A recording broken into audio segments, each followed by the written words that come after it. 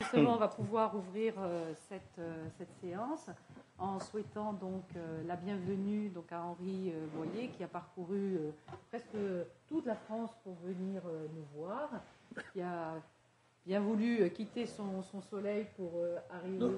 Il ne faisait pas beau. bon, alors ça va, donc c'est parfait.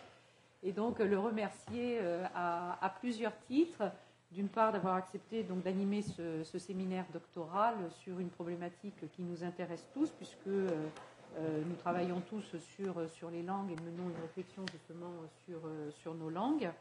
Et à un autre titre, peut-être que certains d'entre vous ne, ne le savent pas, mais quand nous faisons des, des, colloques depuis un certain nombre d'années, donc Henri, Henri, qui est le directeur d'une des collections donc, chez l'Armatan, accepte de publier euh, nos actes dans sa collection, donc euh, langue et parole. Hein, et donc, euh, on le remercie vivement. Donc, Henri, je te présente les, les donc Michael Hearn, qui a fait donc Obama avec Raymond Ledru qui n'est pas là, puis ensuite les élections donc en Grande-Bretagne. Voilà. Ensuite, euh, nous avons euh, donc euh, Jaime, Jaime Cespedes, donc tu as dû recevoir la dernière, le dernier volume sur les élections espagnoles. Et bah, moi qui avais fait les, élections françaises, de, te donc en 2008. Voilà, donc. voilà, donc merci beaucoup. non, non, mais merci. C'est vous que je remercie d'alimenter avec qualité ma, ma collection. Hein, D'ailleurs, si, d'autres collègues dans, le secteur, effectivement, de la linguistique au sens très large, hein, euh, ont envie de publier la langue des paroles, euh, ils, sont, les bienvenus. Euh, l'autre collection que je dirige, c'est sociolinguistique. C'est un, peu plus, c'est un peu plus pointu. ça concerne réellement le champ propre à la sociolinguistique. Mais peut-être parmi vous, je publie aussi des, thèses. Hein. Euh, L'armatan est. Je ne sais pas, c'est pas l'objet de parler de ça, mais euh, l'armatan est euh, très radin. Dans, il ne rémunère pas. je veux dire, il n'y a pas de droit d'auteur, il y a cinq exemplaires par truc. C'est vraiment un rat, mais il publie les thèses de jeunes qui, qui ne trouveraient pas ailleurs. Hein. Donc, s'il y a de bonnes thèses, bien sûr, hein, euh, dans des versions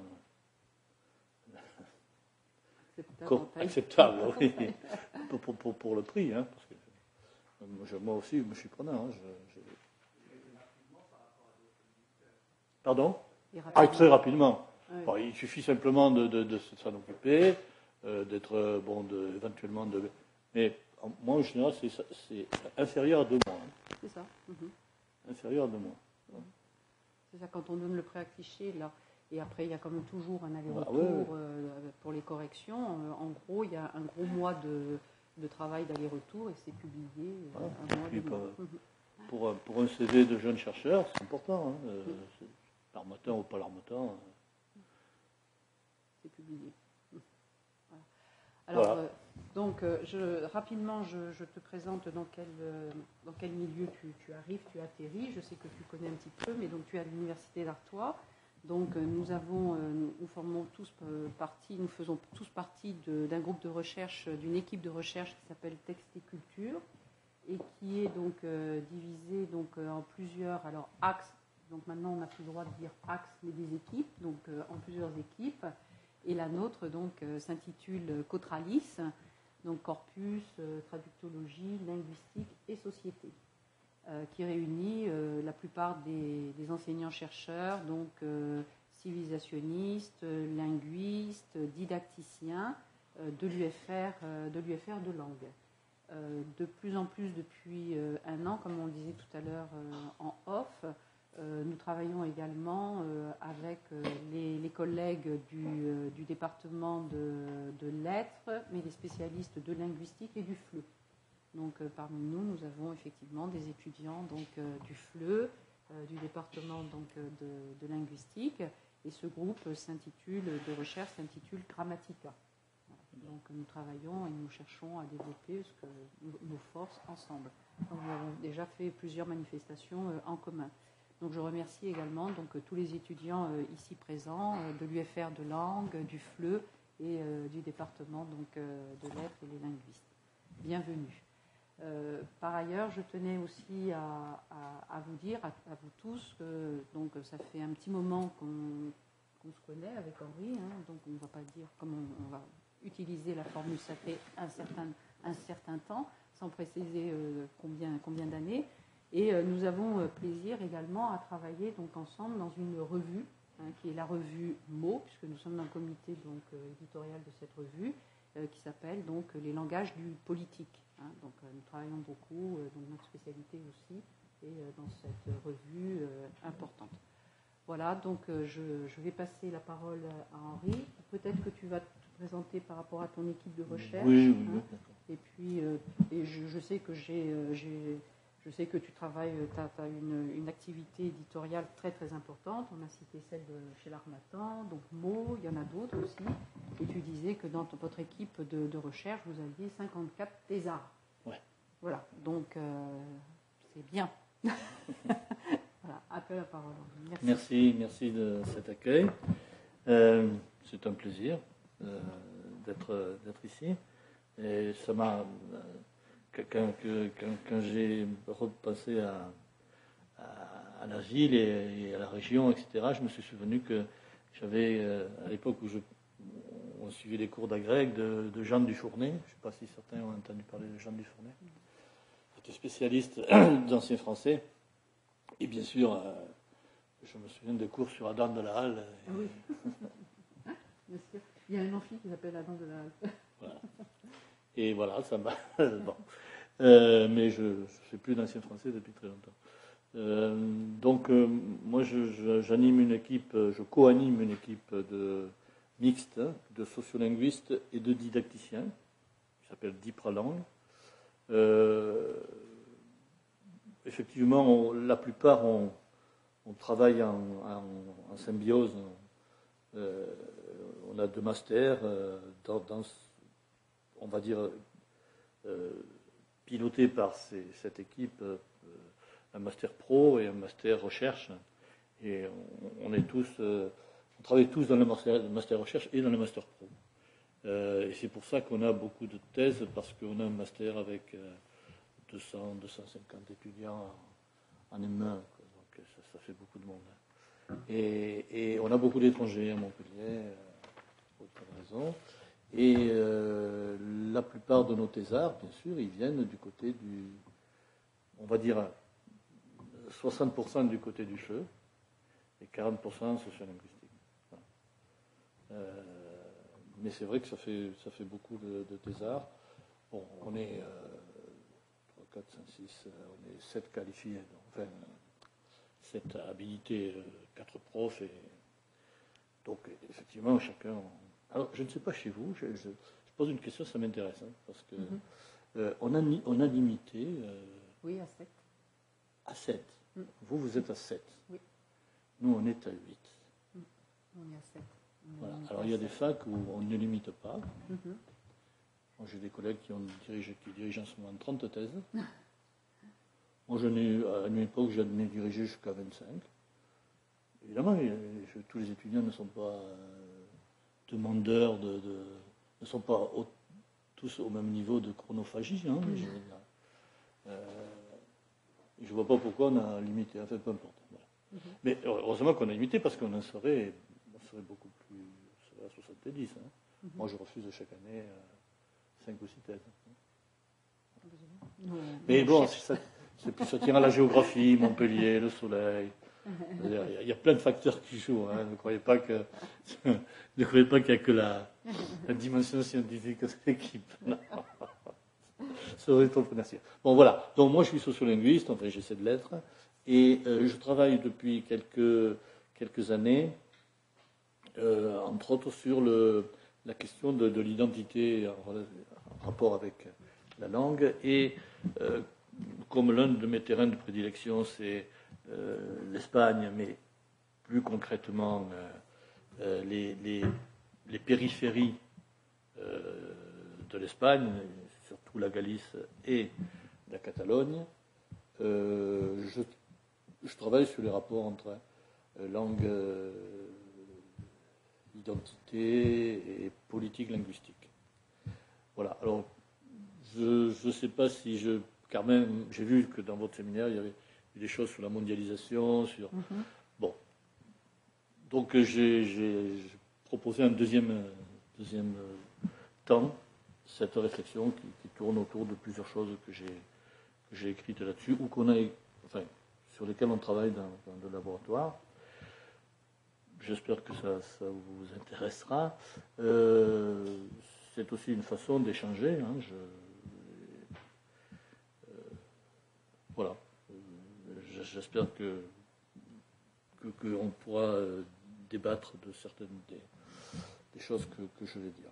Alors, comme je ne savais pas qui exactement allait être là, évidemment, ça, va peut-être être, très hétérogène du point de vue du niveau. Euh, vous m'en excusez, mais je pense que c'est aussi, c'est aussi la règle du jeu dans des séminaires où il y a des étudiants, des profs, des collègues, etc. On va voir. Donc, euh, la langue, élément fondamental de l'identité nationale, est, sous-titre, euh, une interrogation sur le nationalisme linguistique, mais en relation avec, on va dire, le, les politiques linguistiques. Bon, j'expliquerai pourquoi l'autopolitique, mais je pense que tout le monde a, tout le monde a parfaitement intégré ce, texte, cette notion, qui est due, comme vous le savez, à, à Marcellési et, Guépin. Donc, je, mon, exposé. Euh, d'abord, de combien on dispose? Euh, D'une heure et demie, deux heures. D'accord mais y compris la discussion. Donc, euh, hein, je fais un exposé d'une heure, une heure et quart, et si vous êtes d'accord, après, on, on, discute. On échange. Donc, euh, euh, je, déclinerai un peu cette réflexion en, cinq moments. Je vais rapidement parler de, des questions de, qu'est-ce qu'on peut dire du point de vue sociolinguistique sur la mondialisation linguistique? quelques petites choses. Hein parce qu'il y a eu beaucoup, de choses écrites. Euh, dans le deuxième, euh, deuxième temps, euh, je mettrai en relation ces trois notions, langue, identité et nationalisme. Un troisième temps me, conduira à, éclairer cette problématique glottopolitique, donc des politiques et planification linguistique. Enfin, dans un quatrième temps, j'essaierai de réunir plusieurs choses donc, qui auront été dites euh, jusqu'alors autour de l'impact du nationalisme, en particulier concernant la Catalogne et euh, la, on va dire l'aboutissement de la politique linguistique conduite en Catalogne qui, euh, qui en fait euh, parvient aujourd'hui à faire que la Catalogne vit un bilinguisme non, non diglossique. Je, présume que les notions de diglossie, bilinguisme, même si, on n'est pas sociolinguiste, mm-hmm. s'il y a précision à donner, je, et si c'est insuffisant dans mon exposé, vous, vous m'arrêtez, j'explique. Mais euh, voilà. Et je terminerai, si on a le temps, avec euh, le cas du Paraguay, qui n'est pas, euh, qui, est toujours dans cette problématique-là, qui n'est pas le cas de la Catalogne, mais, mais qui ressemble quelque part à, la Catalogne pour des raisons que j'expliquerai. Donc voilà. alors, donc, en matière de, gestion des langues, on peut considérer, si vous voulez, que euh, les options sont, en gros, de, deux types, deux grands types. Euh, donc, je, fais ce schéma euh, un peu libéral, qu'on pourrait qualifier de mondialiste ou de globaliste, si vous voulez, qui en fait prône le laisser-faire linguistique. Euh,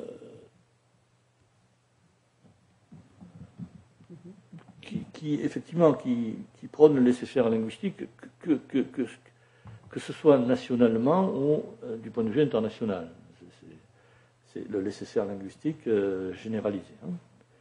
Et puis, un pôle qu'on pourrait appeler, que j'appelle, faute de mieux, interventionniste ou altermondialiste, hein, euh, qui se subdivise en deux grands, deux petites sous-options soit ce pôle interventionniste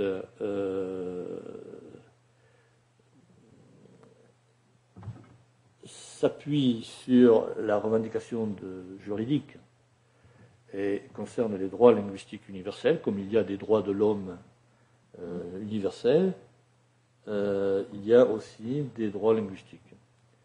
et bien sûr que la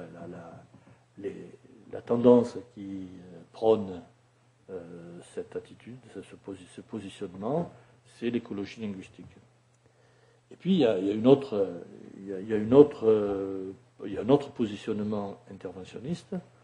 Pourquoi interventionniste Tout le monde a compris, parce que euh, précisément euh, les, deux, les deux sous-options n'acceptent pas le statu quo, n'acceptent pas la, la non-régulation qui en fait et de fait est une régulation, euh, et donc euh, prône vraiment une intervention, alors soit de l'État, soit des organisations non gouvernementales en matière de langue. Et euh, bien sûr, cette, deuxième, ce deuxième positionnement altermondialiste ou interventionniste n'est pas de, même nature que le, le premier, que l'écologie linguistique, parce qu'il se focalise euh, sur l'identité euh, linguistique et euh, il peut aller, mais pas toujours, hein, il peut aller jusqu'à construire un nationalisme linguistique. Et c'est le cas, c'est le cas qui nous intéresse ici. Donc c'est un peu ce que je raconte ici. Donc l'écologie linguistique, qui effectivement euh, prône euh, que la préservation d'une langue dans son sens le plus large implique le maintien du groupe qui la parle. Alors, je, cite des, auteurs qui sont les plus représentatifs de ces courants. Nick Romaine, bien sûr. Euh, vous avez sûrement entendu parler de ce bouquin. ces, langues, ces voix qui s'éteignent. Évidemment, c'est la lutte pour la préservation des langues menacées un peu partout dans le monde. Euh, c'est intéressant, cette double, cette, le positionnement écologiste est intéressant par rapport à, on va dire, à l'autre positionnement. Euh, et, je, considère aussi que les deux sous-positionnements hein, interventionnistes sont en fait quelque part, ou peuvent être, ou devraient être complémentaires. Euh, et de fait, ils le sont souvent. Euh, c'est le double mouvement des interventions, soit euh, des stratégies de haut en bas, euh, ça veut dire que effectivement, du point de vue de, l'État ou, des, structures, on va dire, étatiques ou para-étatiques ou, ou, régionales, etc., on met en place des politiques linguistiques une planification, euh, mais euh, il y a aussi des stratégies de base. C'est-à-dire, en fait, on va vers la base, hein, on, aide la base, mais en même temps, l'écologie linguistique considère que cette, ce mouvement ne suffit pas euh, pour sauver une langue et, que s'il n'y a pas la contrepartie de stratégie de bas en haut, on laisse faire les politiques officielles et ça peut s'avérer contre-productif en l'absence d'autres activités au niveau inférieur. Et je, prends un exemple ici. Euh, l'exemple, je, compare, si vous voulez, euh, je compare la Catalogne et la Galice. tout le monde voit à peu près où se trouve la Catalogne et la Galice, en Espagne. il se trouve qu'en Catalogne, effectivement, il y a eu une politique, une stratégie à la fois de haut en bas, c'est-à-dire que le gouvernement autonome a, mis, a fait ce qu'il fallait pour que le catalan soit, soit défendu et même euh, progresse dans ses usages, mais en même temps, euh, la base a, pendant des années où euh, précisément l'État, plutôt la, région ou la communauté autonome de Catalogne n'avait pas tous ses moyens, on sait que le militantisme catalan a permis de faire en sorte que la langue catalane ne soit pas, euh, qu'il n'y ait pas arrêt de la transmission intergénérationnelle. Euh, avec vraiment un militantisme très fort euh, de, tous azimuts, d'associations de quartiers, etc. si je compare avec la, Galice, on voit que c'est tout à fait différent. il y a bien une forte, mobilisation de la base minoritaire autour du Galicien, mais elle est ultra minoritaire. Et quand on regarde ce qui se passe de haut en bas, on voit que la, communauté galicienne n'a pas pu ne pas faire de politique linguistique, mais elle a fait une politique linguistique euh, avec beaucoup de précautions, euh, parce que parce qu'elle a été aux mains de la de la droite populaire pendant très longtemps, et que les populaires en Espagne, comme chacun sait, ne supportent pas euh, les revendications des périphéries et ne supportent très mal les autonomies, euh, sauf, quand ils, sauf quand ils sont au pouvoir des autonomies, ils s'en servent pour, euh, pour leur propre carrière. Hein. le cas flagrant, c'est Manuel Fraga, qui a été. Dieu est son âme. il est mort, non euh, Manuel Fraga, qui pendant euh, toute la rédaction de la Constitution a été un farouche adversaire de l'introduction du concept de nationalité dans l'article 2 de la Constitution de 1978. Euh, je me souviens d'un débat épique entre Jordi Pujol et Manuel Fraga à la télévision. Euh, quand, il a été, quand il a conquis la, généralité de la, la Junta de Galice, euh, il a, il, s'est parfaitement bien adapté au pouvoir que lui donnait cette autonomie. Voilà. mais en général, ils sont contrés. Donc, effectivement, ça s'est senti. Chaque fois que y a chaque fois que les, populaires, les, membres du Parti populaire prennent une autonomie, et que dans cette autonomie, il y a ce qu'on appelle une langue euh, propre, euh, comme le catalan en Pays Valencien, par, exemple, ou au Baléares. Vous pouvez être sûr qu'ils font le, font le strict minimum, hein, le, régime. Euh. Et effectivement, la différence, la différence de traitement dans ces deux niveaux se lit dans les résultats. Le galicien est en train de perdre du terrain, le catalan est en train d'en gagner.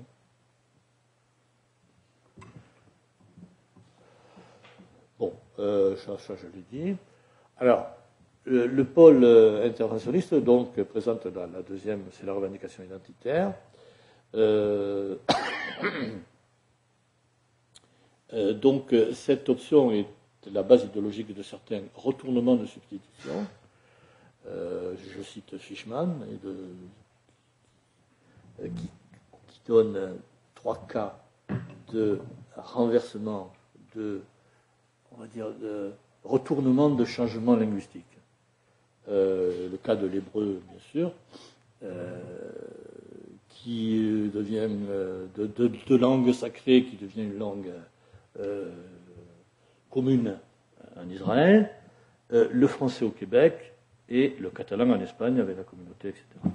donc, il en sera question. Alors, je, voudrais simplement, parce que je, crois qu'il est venu calmer, hein, il est venu Calvé. Oui, oui, il est venu Calvé. Bon. Alors, euh, avec Louis-Jean, euh, qui est un collègue euh, hors pair, hein, on a un petit différent sur la façon de concevoir certaines choses, en particulier en Espagne. il est spécialiste de l'Afrique, mais il, se mêle un peu de, parfois de choses qui. voilà. mais on fait tout ça.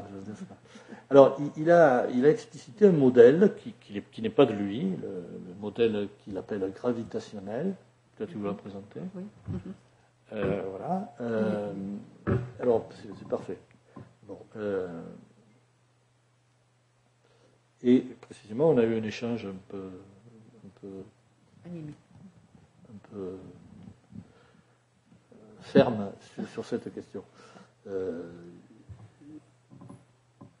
il a donc utilisé le modèle gravitationnel d'un monsieur qui s'appelle Adam de Schwann, qui lui est, euh, est, vraiment un farouche tenant de la position euh, non interventionniste, considérant qu'en fait le, marché, que, que les, langues, c'est un produit commercial comme un autre, et que le marché des langues peut être traité de la même façon que le marché des produits. c'est pas la position, je ne dis pas que c'est la position de Calvin. Hein. Je dis que le modèle gravitationnel, tel que Calvé euh, l'utilise, en tout cas l'adapte, si vous voulez, est emprunté à, euh, ce monsieur, Adam de Schwann.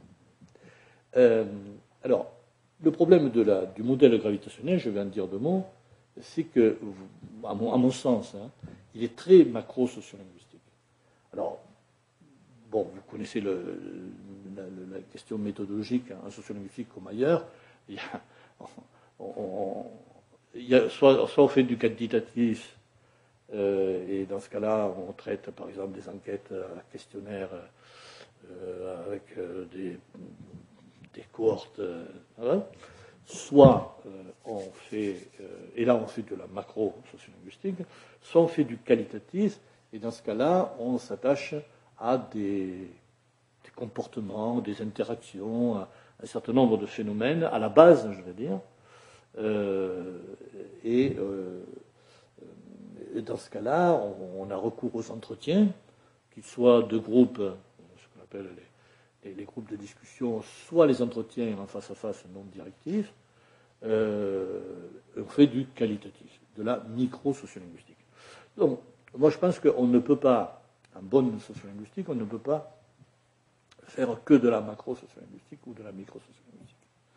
Euh, il faut, à mon avis, il faut au moins même s'il y a une dose de macro plus importante que le micro, il faut essayer de faire les deux, et puis surtout ne pas pousser trop dans un sens euh, exclusif. Hein, voilà.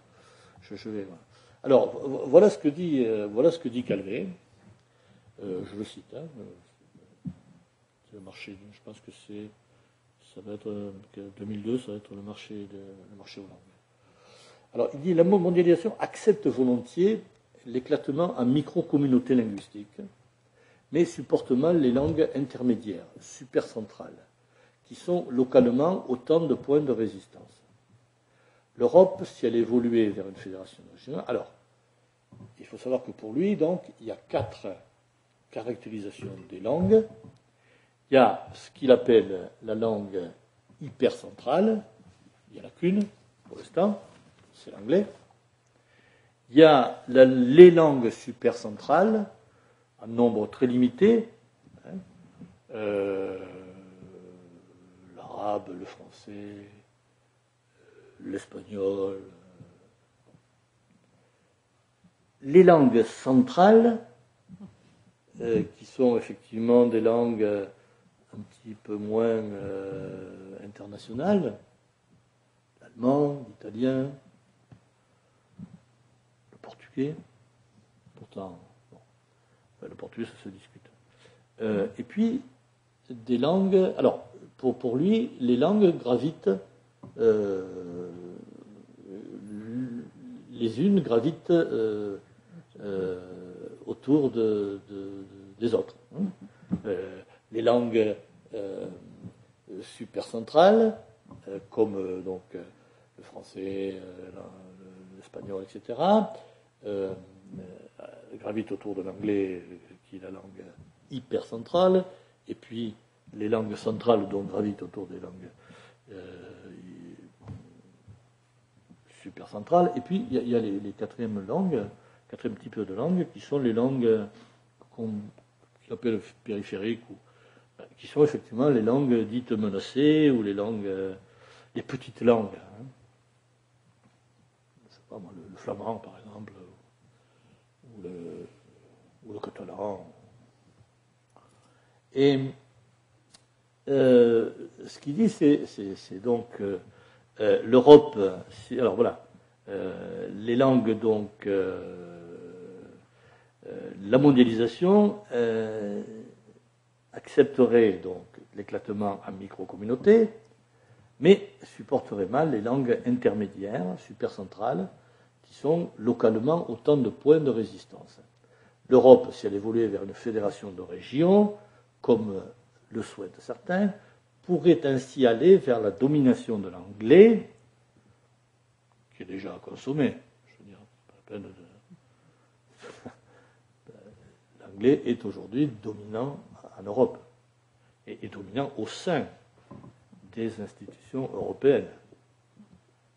Et, euh, l'accentuation, d'après tous les, les témoignages qu'on peut avoir de ce phénomène, est venue en particulier sous la présidence de Delors, ce qui est quand même intéressant. Euh, bon, c'est comme ça, c'est comme ça.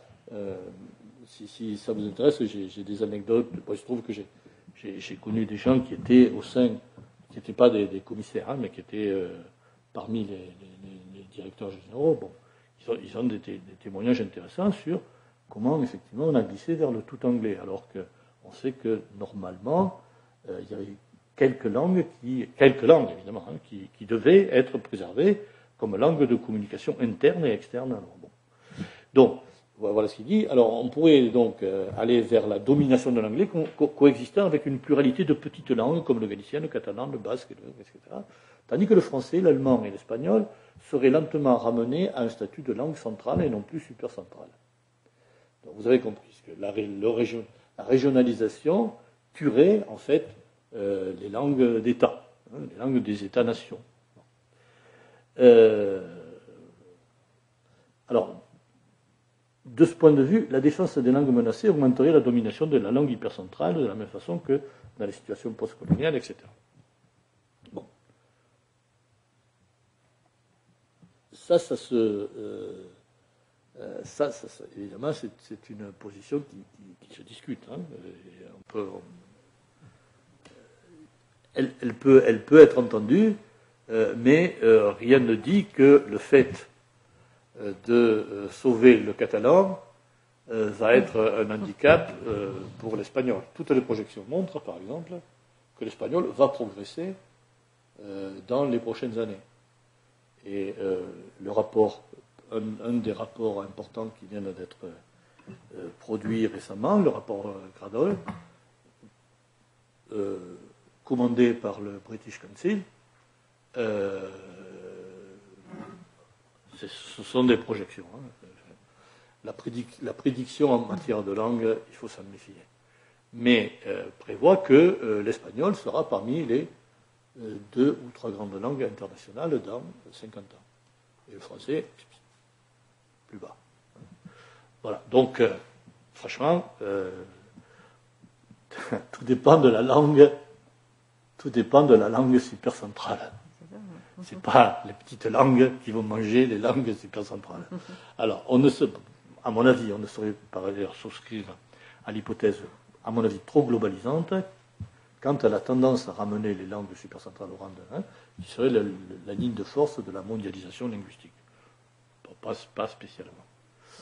Alors, S'agissant de l'Espagne, Calvé dit que l'espagnol, sous la domination de Castillan, euh, est en voie de rétrograder euh, l'espagnol au rang de langue régionale à côté du catalan ou du basque. Bon. Euh, très franchement, personne sérieux, aucun observateur sérieux, ne peut dire que le catalan menace en Espagne le Castillan. Personne ne peut le dire. Qu'effectivement, en Catalogne, ce que je vais montrer, le catalan fasse désormais, avec une politique linguistique ultra vigoureuse, chère, coûteuse, euh, lourde, euh, volontariste, arrive à faire jeu égal dans les usages, on va dire, euh, dominants, c'est vrai. Mais l'espagnol qui n'a pas cette protection continue à, être la, langue, effectivement, d'Espagne. Donc, ça, je veux dire, il ne faut pas, être un grand observateur sociolinguiste pour, accepter ça. Alors, euh, autre, chose qui est discutable, euh, euh, voilà ce qu'il dit. Il est confortable de croire que si les langues disparaissent de l'usage, c'est à cause de la domination égoïste des grandes langues, et que si l'anglais s'impose comme véhiculaire international, c'est à cause de la domination égoïste de la puissance américaine. Confortable mais faux. Si des locuteurs ou des communautés linguistiques se plient à la loi du marché, si certains abandonnent leur langue, ne la transmettent plus, ce n'est pas nécessairement le couteau sous la gorge, mais plutôt parce qu'ils considèrent que là est leur intérêt au celui de leurs enfants. Bon, alors, euh, le, problème en question, c'est la question du, euh, c'est la question du, euh, du choix. car ça, c'est vraiment vite dit si je me réfère à Maquet, qui est un spécialiste du bilinguisme et du plurilinguisme, il énumère plusieurs raisons qui conduisent euh, les langues à disparaître, hein, euh, ou en tout cas à être progressivement non utilisées. Les, facteurs sont bien répertoriés l'émigration, la famine, la maladie, le génocide, la baisse du taux de natalité, l'exogamie, l'absence de travail, l'absence d'instruction, la pauvreté ou l'interdiction. Donc effectivement, euh, il faut aller chercher plus loin que, dans ces cas. Euh, donc, euh, en matière, donc voilà, j'avais prévu de, peut-être d'aller un peu plus loin là, mais je, vais. Donc, mon premier point, c'était effectivement que sur le, problème de la mondialisation et du rapport de la mondialisation aux langues, il y avait plusieurs positionnements, que tous les positionnements n'avaient pas effectivement la même. Euh, euh, n'avait pas le même intérêt pour telle ou telle langue, et que effectivement, on se rend compte que si il est très facile de, tout en se revendiquant euh, pour une position, on va dire, ouverte à l'égard des langues même minoritaires, comme c'est le cas de Calvé, on peut très bien, à un certain moment, euh, se laisser aller euh, vers le penchant non interventionniste, parce que au nom, du, choix. Mais le choix, c'est la question, c'est la liberté de choix. On sait bien que dans un certain nombre de cas, on l'a vu en Amérique latine, euh, on l'a vu aussi en Amérique du Nord, euh, il n'y a, pas, forcément de choix. le, choix est un choix euh, deuxième point que, je voulais poser. Marche pas.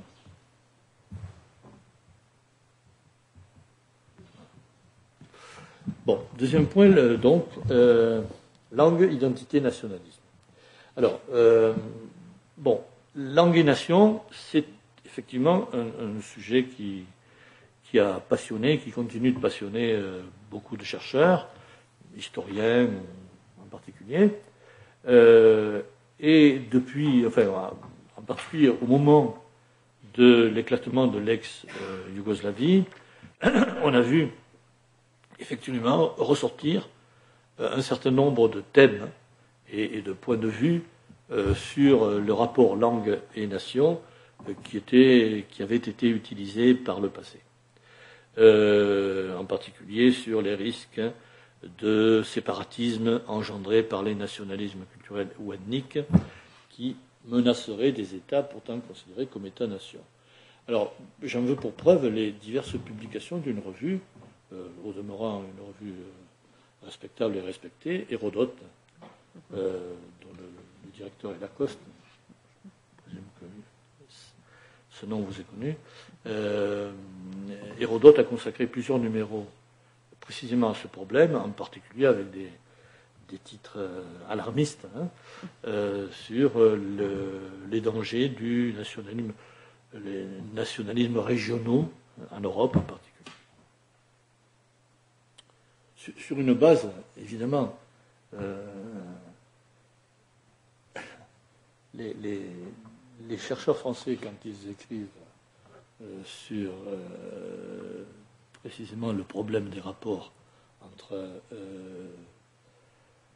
langue périphérique et État-nation, ou entre région et, État, ont en général une vision très influencé par l'idéologie dominante en France, qui est ce que moi j'appelle une idéologie unilinguiste. Et pour aller vite, on peut dire jacobine, mais j'aime pas le terme de jacobin parce que c'est faire un, jure aux jacobins, je veux dire. C'est mal, désigné euh, en matière de. Mais, effectivement, on se rend compte que euh, quand des, intellectuels, des chercheurs français, euh, qui, ne se sont pas prémunis euh, par exemple, sur l'Espagne, euh, c'est clair que, euh, bien sûr des, hispanistes qui connaissent bien la réalité, mais ceux qui ne connaissent pas bien la réalité, parfois, sont amenés à projeter sur des situations comme l'espagnol le modèle français, qui ne convient pas.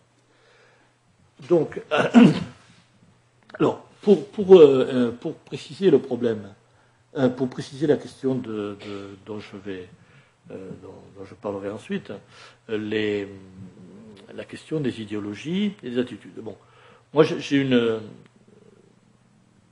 j'ai proposé ailleurs, euh, sur la base de, ce qu'on ont,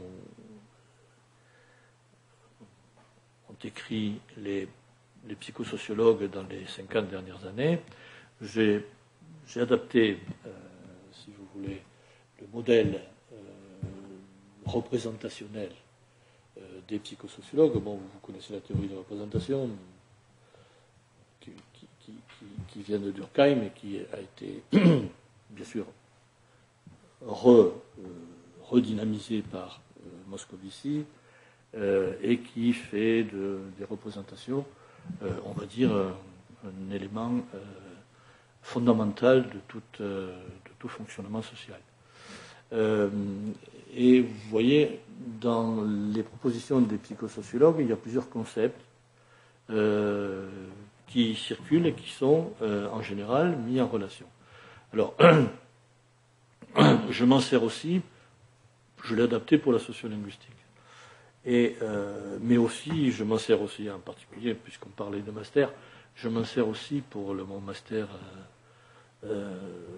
FLE, euh, quand j'essaie d'expliquer effectivement euh, euh, la question en particulier des, culturels, etc., et des, imaginaires collectifs. voilà, donc simplement ce que je vous demande de noter, c'est l'articulation entre représentation et idéologie. Bon, la représentation, c'est, comme vous le savez, c'est une, image du, réel et c'est une image de, certains objets sociétaux. Et euh, cette image, elle est faite, bien sûr, d'accommodes, d'approximation, de schématisation, etc.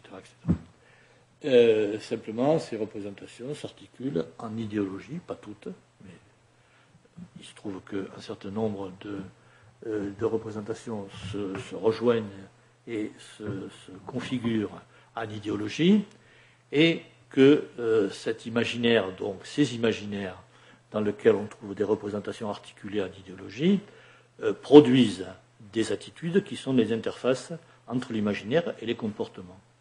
Et euh, bien sûr que ces comportements, et aussi les opinions qui vont avec, à leur tour nourrissent, bien sûr, alimentent les fonctionnements sociétaux comme bien sûr, les fonctionnements sociétaux, euh, à, leur tour, alimentent les imaginaires. Bon, je, donne, ça parce que je vais, je vais parler d'idéologie tout à l'heure. Alors, le nationalisme, précisément, qu'est-ce que c'est? Sinon une production idéologique. Et on peut considérer, donc, d'après moi, mais je ne suis pas le seul hein, à penser ça, que l'idéologie, euh, il y a eu plein, plein, plein de définitions d'idéologie, c'est sûrement un des concepts qui ont fait couler le plus d'encre par le passé, euh, et, pas que depuis Althusser, mais en particulier. Bon, on peut considérer précisément, si on prend la version idéologie que on trouve en psychologie sociale. On peut considérer l'idéologie comme une construction socio-cognitive, bien sûr, comme, comme les représentations. Ce sont des constructions socio-cognitives spécifiques à partir d'un ensemble plus ou moins fermé de représentations. Prenez comme idéologie, euh, pensez, je sais pas moi, euh, euh, la xénophobie, hein, le, sexisme, par exemple. Hein. construction à visée dominatrice, qu'elle soit ostensible ou occultée, et qui propose une certaine vision du monde.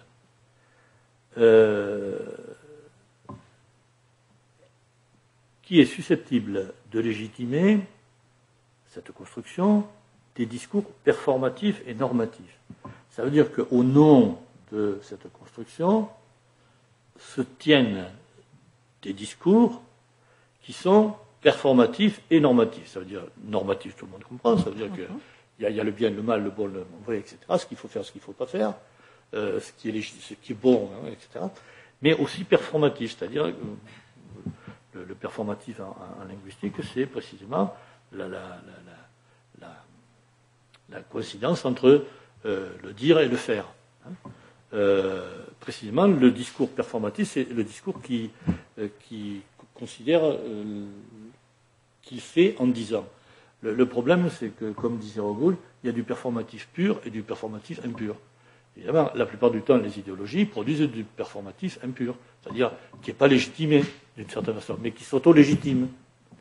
par exemple, le président un président de séance a le droit de dire la, séance est levée. Euh, si c'est n'importe qui qui la séance est levée, il n'y a aucune légitimité.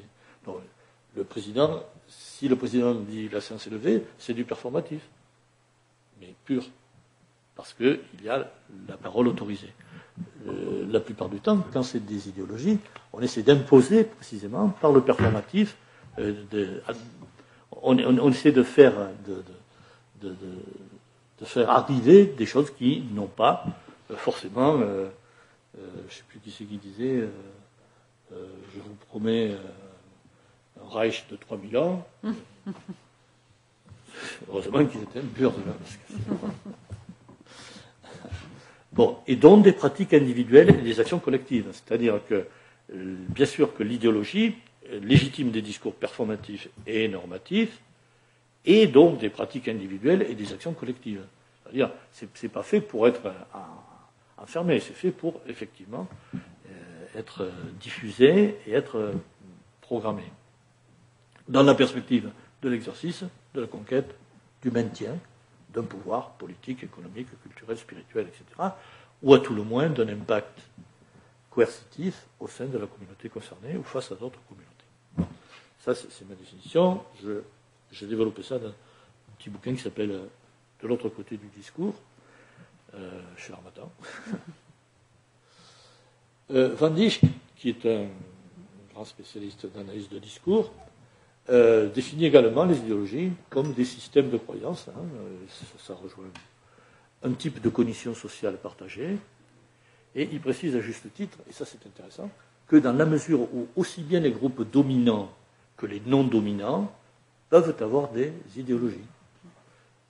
Dans ce cas-là, une théorie des idées générales de l'idéologie permet qu'il y ait des théories de résistance et d'opposition, et également une théorie de conflit et lutte idéologique. Et évidemment, c'est important pour, euh, pour ce qui nous concerne. Bon, alors on peut considérer donc que sur la base d'une certaine histoire, d'un certain vécu communautaire, et souvent depuis une périphérie en conflit avec un centre hégémonique.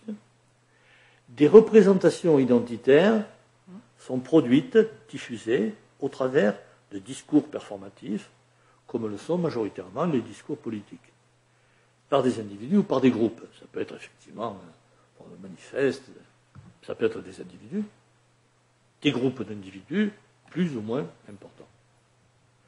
Ces représentations, quand elles sont aidées par certaines circonstances, j'en énumère certaines, mais il y en a d'autres, expansion économique ou démographique de la communauté concernée, discrédit du centre. Souvent, les nationalismes périphériques naissent du discrédit du centre, n'est-ce pas? C'est le cas, ce fut le cas en Catalogne euh, à la fin du XIXe siècle. L'État espagnol étant incapable de gérer sérieusement le pays, euh, la, riche Catalogne et les riches bourgeois catalans euh, se sont forgés d'abord en régionalisme, une idéologie régionaliste, et progressivement sont passés au nationalisme. Euh, donc conflit intercommunautaire ouvert, ça peut être ça aussi, ou éventuellement militaire.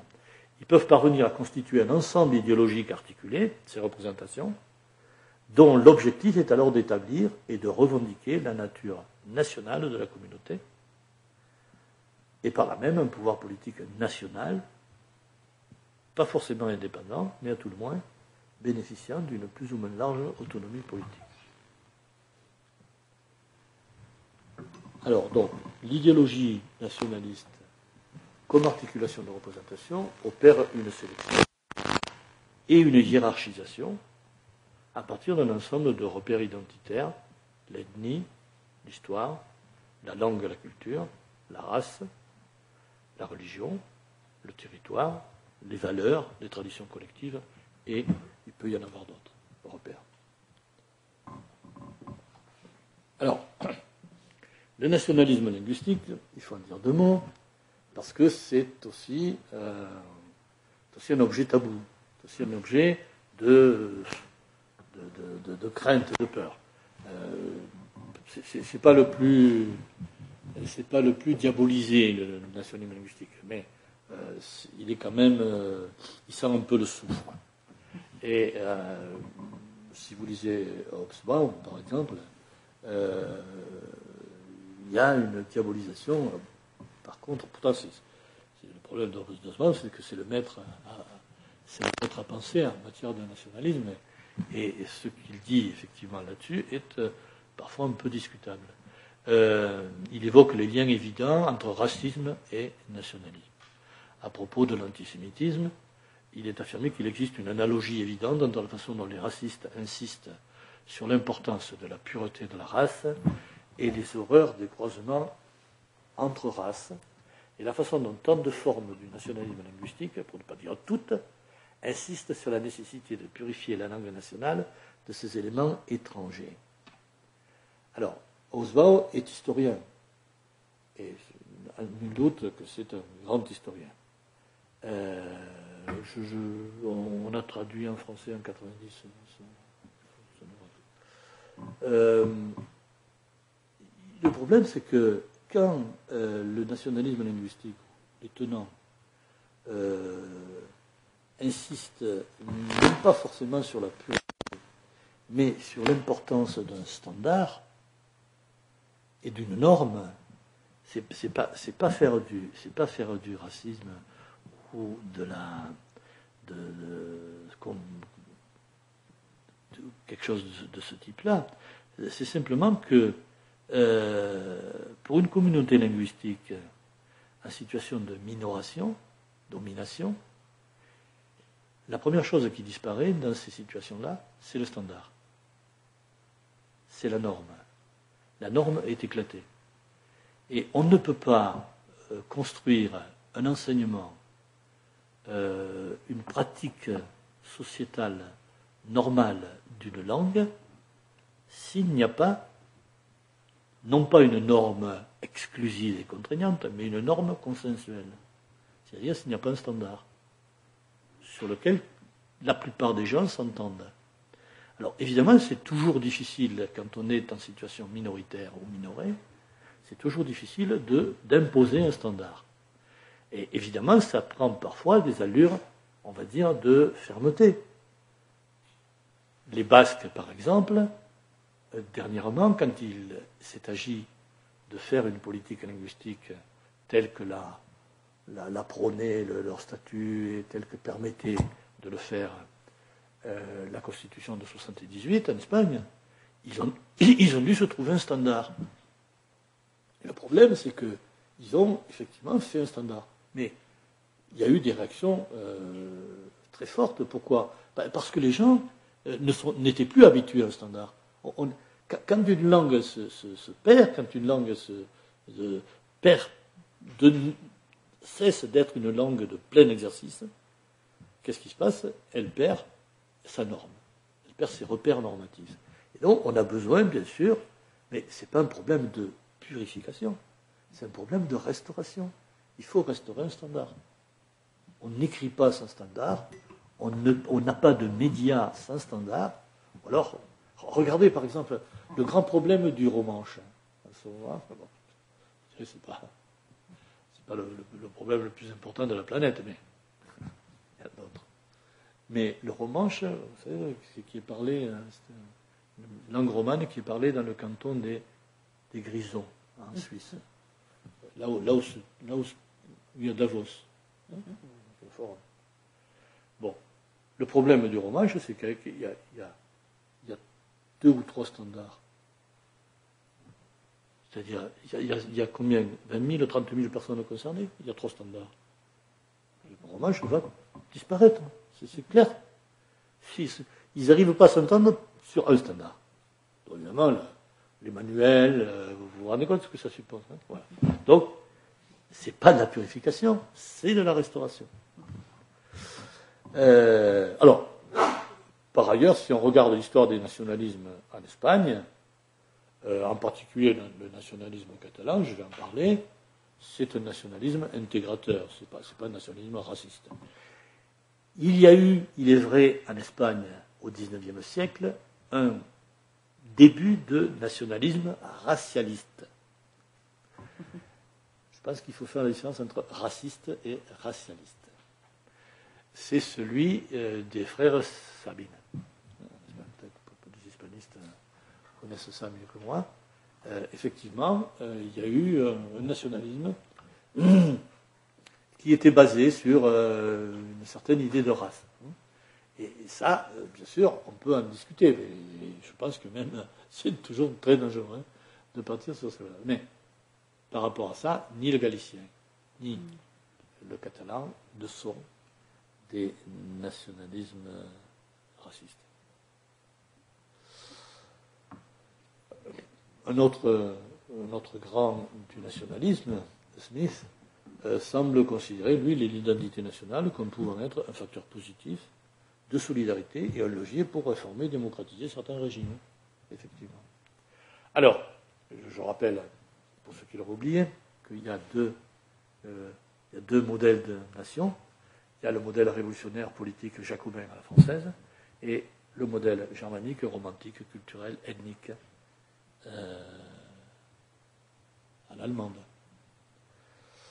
Euh, alors, moi, j'ai une position qui, est, celle euh, que, que, j'emprunte à Paul Garde, qui, Paul Garde, le grand spécialiste de, de l'ex-Yougoslavie.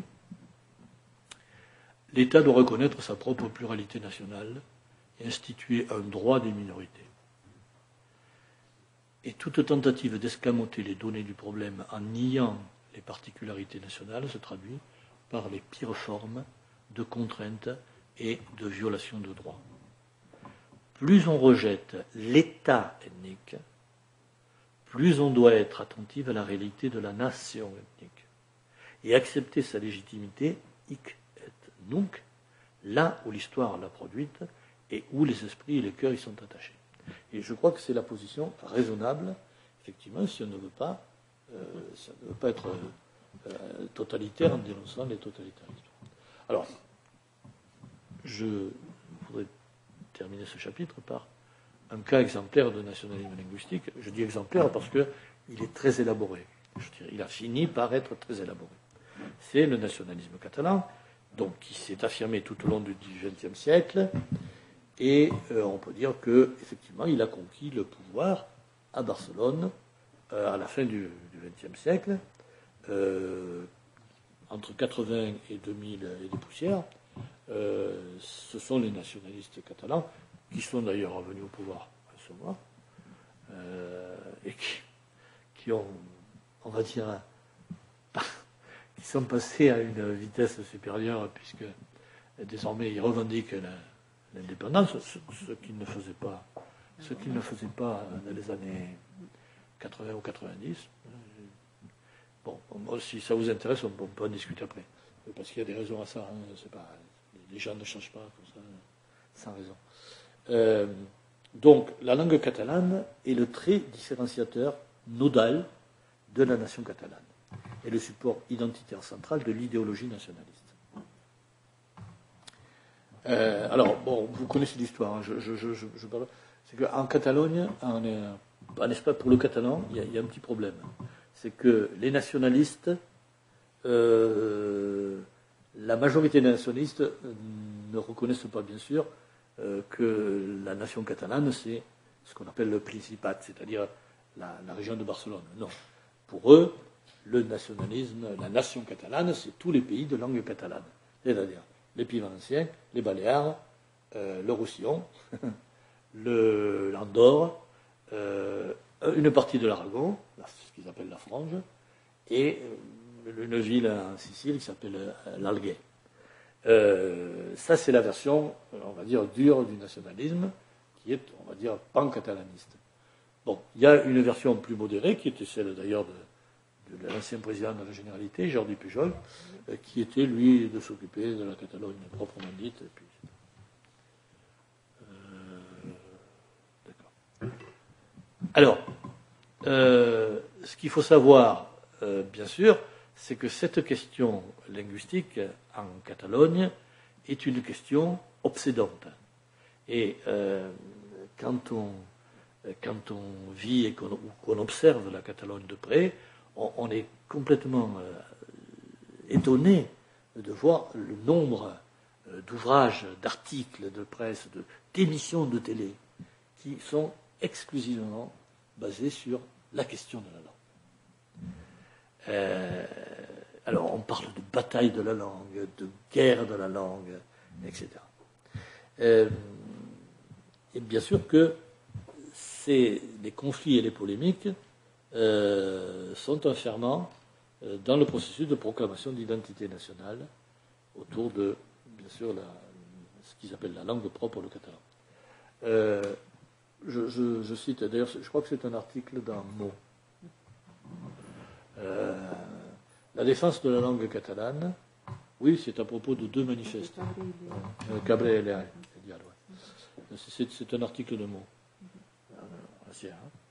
La défense de la langue catalane, lorsqu'elle est attaquée par des groupes anti-catalans, homogénéise la diversité idéologique des partis politiques catalans, car il y a à ce moment-là un seul ennemi, bien sûr, c'est les anti-catalans. Anti-catalans langue. Donc, euh, le XXe siècle a vu se développer, s'affermir un nationalisme linguistique, euh, comme dans d'autres lieux. Hein. Euh, je, je, ne suis pas angliciste et je le déplore, mais j'aimerais, j'entends des choses sur le, sur l'Écosse par exemple, et j'aimerais bien savoir si ce qui, se passe de ce côté, si c'est euh, en tout cas, ce qui est clair, c'est qu'il se passe des choses qui se sont passées lors de l'éclatement de l'ex-Yougoslavie.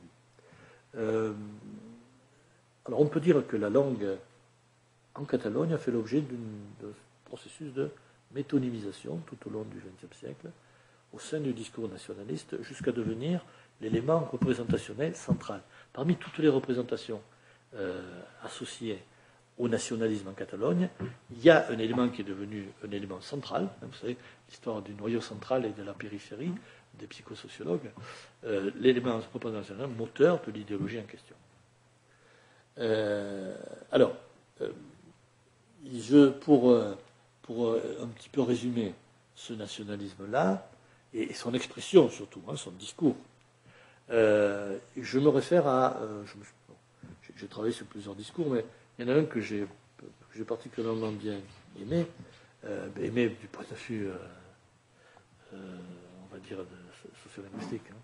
C'est une conférence qu'a prononcée l'ancien chef de président de la Généralité, la Généralité étant le gouvernement autonome de la Catalogne depuis depuis euh, la restauration de la démocratie en Espagne, c'est-à-dire depuis 78.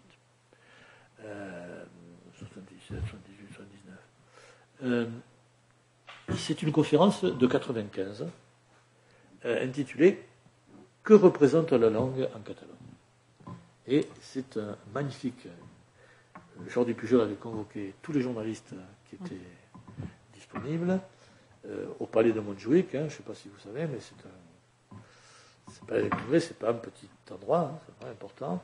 Et bien sûr, une foule immense est venue assister à cette conférence sur la langue.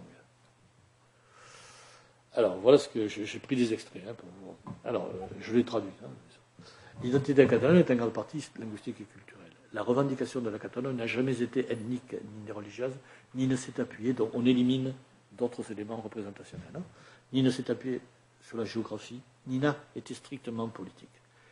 Il y, a, de nombreuses composantes dans notre identité, il y en a beaucoup, mais la langue et la culture en sont l'épine dorsale. Il revient, la langue est non pas l'unique clé, mais assurément une clé très importante de l'être d'un peuple, et souvent la plus importante. Dans le cas de la Catalogne, la plus importante. C'est la langue catalane qui a contribué de manière décisive à configurer la personnalité collective de la Catalogne. Donc, ça, c'était le préambule. Alors, il, énumère ensuite les représentations qui sont euh, constitutives. Bon, d'abord, euh, la présence de la langue catalane est légitimée historiquement. Bien sûr, c'est la langue depuis les origines, c'est-à-dire depuis mille ans. La langue catalane a été victime d'une longue persécution. Il y a le problème de la, de ces récurrents souvent dans le discours nationaliste, et en particulier linguistique, c'est la persécution. Euh, et donc, la langue a été persécutée, ce qui est vrai, incontestablement, en particulier sous le franquisme, et sa récupération est donc légitime, bien sûr. Si cette persécution a été surmontée, c'est grâce à la défense qu'ont su lui opposer les Catalans. C'est grâce à la fidélité du peuple catalan envers sa langue. C'est donc l'histoire de la loyauté. Les Catalans ont manifesté et c'est ce qui leur donne la légitimité de revendiquer, ils ont manifesté de là ce que, Van Rey appelle la loyauté linguistique. Cependant, la persécution n'a pas été sans laisser de séquelles. Certes, il y a eu résistance, mais la persécution a laissé des séquelles. Et donc, euh, malgré tous les progrès de ces dernières années, le catalan continue d'être dans une situation euh, difficile et précaire. Donc, une langue dont la santé n'est pas encore rétablie. Et donc, il est parfaitement légitime de poursuivre la politique de normalisation linguistique qui a déjà permis aux Catalans de récupérer du terrain, etc. D'où la nécessité de réparation et de solidarité. Le catalan, langue persécutée, a droit maintenant à être plus aidé qu'aucune autre. Dans traitement, et bien sûr, on ne va pas traiter le catalan comme le castillan. Pourquoi? Parce que celui qui a souffert, la langue qui a souffert, c'est le catalan, ce n'est pas le castillan. D'où la nécessité d'un militantisme équilibré et pondéré en faveur du catalan. donc, euh, vous avez compris qu'il y a une, articulation, un discours euh, parfaitement articulé qui impose, bien sûr, en définitive, une action guidée par le nationaliste, par les nationalistes, bien sûr, éclairée par les nationalistes, et en faveur de la nation catalane, mais où la langue a le rôle moteur. Et ce sur quoi je veux déboucher, c'est l'impact de ce nationalisme linguistique. Je reviens à mon schéma, donc, positionnement interventionniste, car le nationalisme ici montre, a montré toute sa pertinence glottopolitique. Donc, impact ce nationalisme sur la politique linguistique conduite officiellement par la généralité catalane. Bien. Donc, euh, je parle depuis combien de temps euh, Une heure, même pas, pas encore, 40 minutes. Hein? 40, une, une heure. Bon, je, je vais peut-être aller plus vite. Bon. Je, suis obligé de faire un petit détour par, par la, les questions des politiques et planification. Mais je vais aller vite parce que ce qui est peut-être intéressant, c'est de voir la, fin. Bon, alors, vous savez que la notion de politique linguistique, c'est une notion très étudiée en sociolinguistique, euh, très travaillée. Euh, Calvé, par exemple, a apporté beaucoup de contributions à euh, l'analyse, à la définition des politiques linguistiques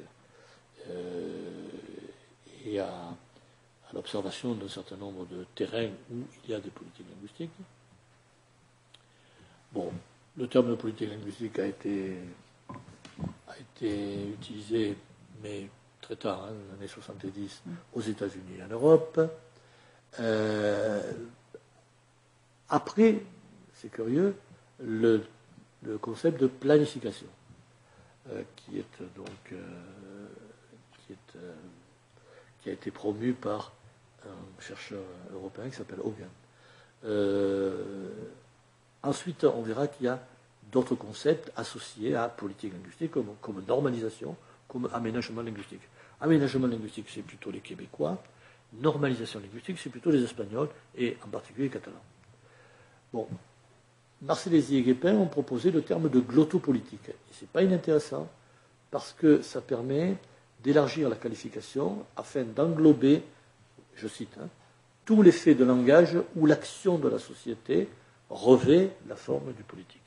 Tous les faits de langage, pas simplement, euh, mais aussi l'école, hein, euh, où euh, l'action de la société revêt la forme du politique. Alors, bien sûr, pour qu'une politique linguistique soit une vraie politique linguistique, il ne faut pas qu'elle soit simplement euh, comme ça de bonnes intentions, mais il faut qu'elle passe par euh, des qu'elle passe à l'acte. Et le passage à l'acte, c'est la planification. Planification qui concerne des dispositifs et des dispositions. Dispositifs, ça veut dire des structures, parfois très sophistiquées, et les dispositions. Dispositions, c'est-à-dire des textes, textes de loi, constitution, etc. Alors, la politique linguistique, euh, elle peut se focaliser sur, sur trois types de, de fonctionnement. Euh, soit l'identité structurale de la langue. Et là, par exemple, on peut, euh, ben, on peut codifier des fonctionnements grammaticaux, lexicaux, hein, bien sûr. On peut donner une écriture à une langue qui n'en a pas. On peut changer d'alphabet. Acte de politique linguistique majeur, l'acte d'Atatürk, quand il choisit l'alphabet latin contre l'alphabet arabe. Ça peut concerner des fonctionnements socioculturels.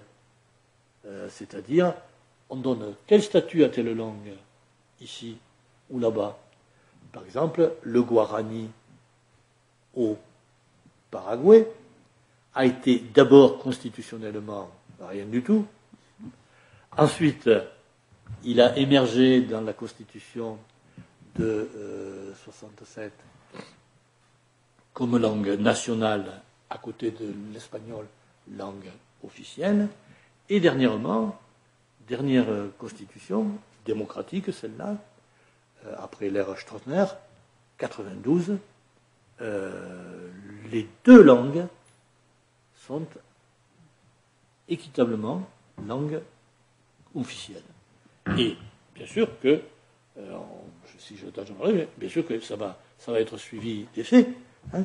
Ça veut dire, par exemple, que désormais, l'enseignement du guarani sera à l'école comme l'enseignement de l'espagnol. Il y a une loi qui vient de sortir, il y a un an, qui effectivement fait en sorte que le guarani ben, arrive à conquérir les espaces qu'il a perdus. C'est une langue parlée majoritairement, majoritairement, mais minorée du point de vue sociolinguistique, c'est-à-dire qui a perdu un certain nombre de fonctionnements, en particulier l'écrit. Mais par contre, c'est une langue que tout le monde parle. Et que tout le monde doit parler. Et tout le monde veut parler. Et en plus qui jouit d'une représentation euh, on va dire, nationaliste, très identitaire, très fortement. Donc, voilà, ce choix-là, c'est un, choix aussi de politique linguistique. Mais le, plus souvent, c'est les deux. C'est linguistique et socioculturel. Hein. Euh, exemple, cette loi qui vient de sortir, de politique linguistique au Paraguay, elle a deux aspects. Bien sûr, elle fait du guarani de fait une langue de plein exercice dans la société, avec toutes les fonctions, euh, y compris l'administration. Par exemple, désormais, euh, tous les documents administratifs vont sortir dans les deux langues.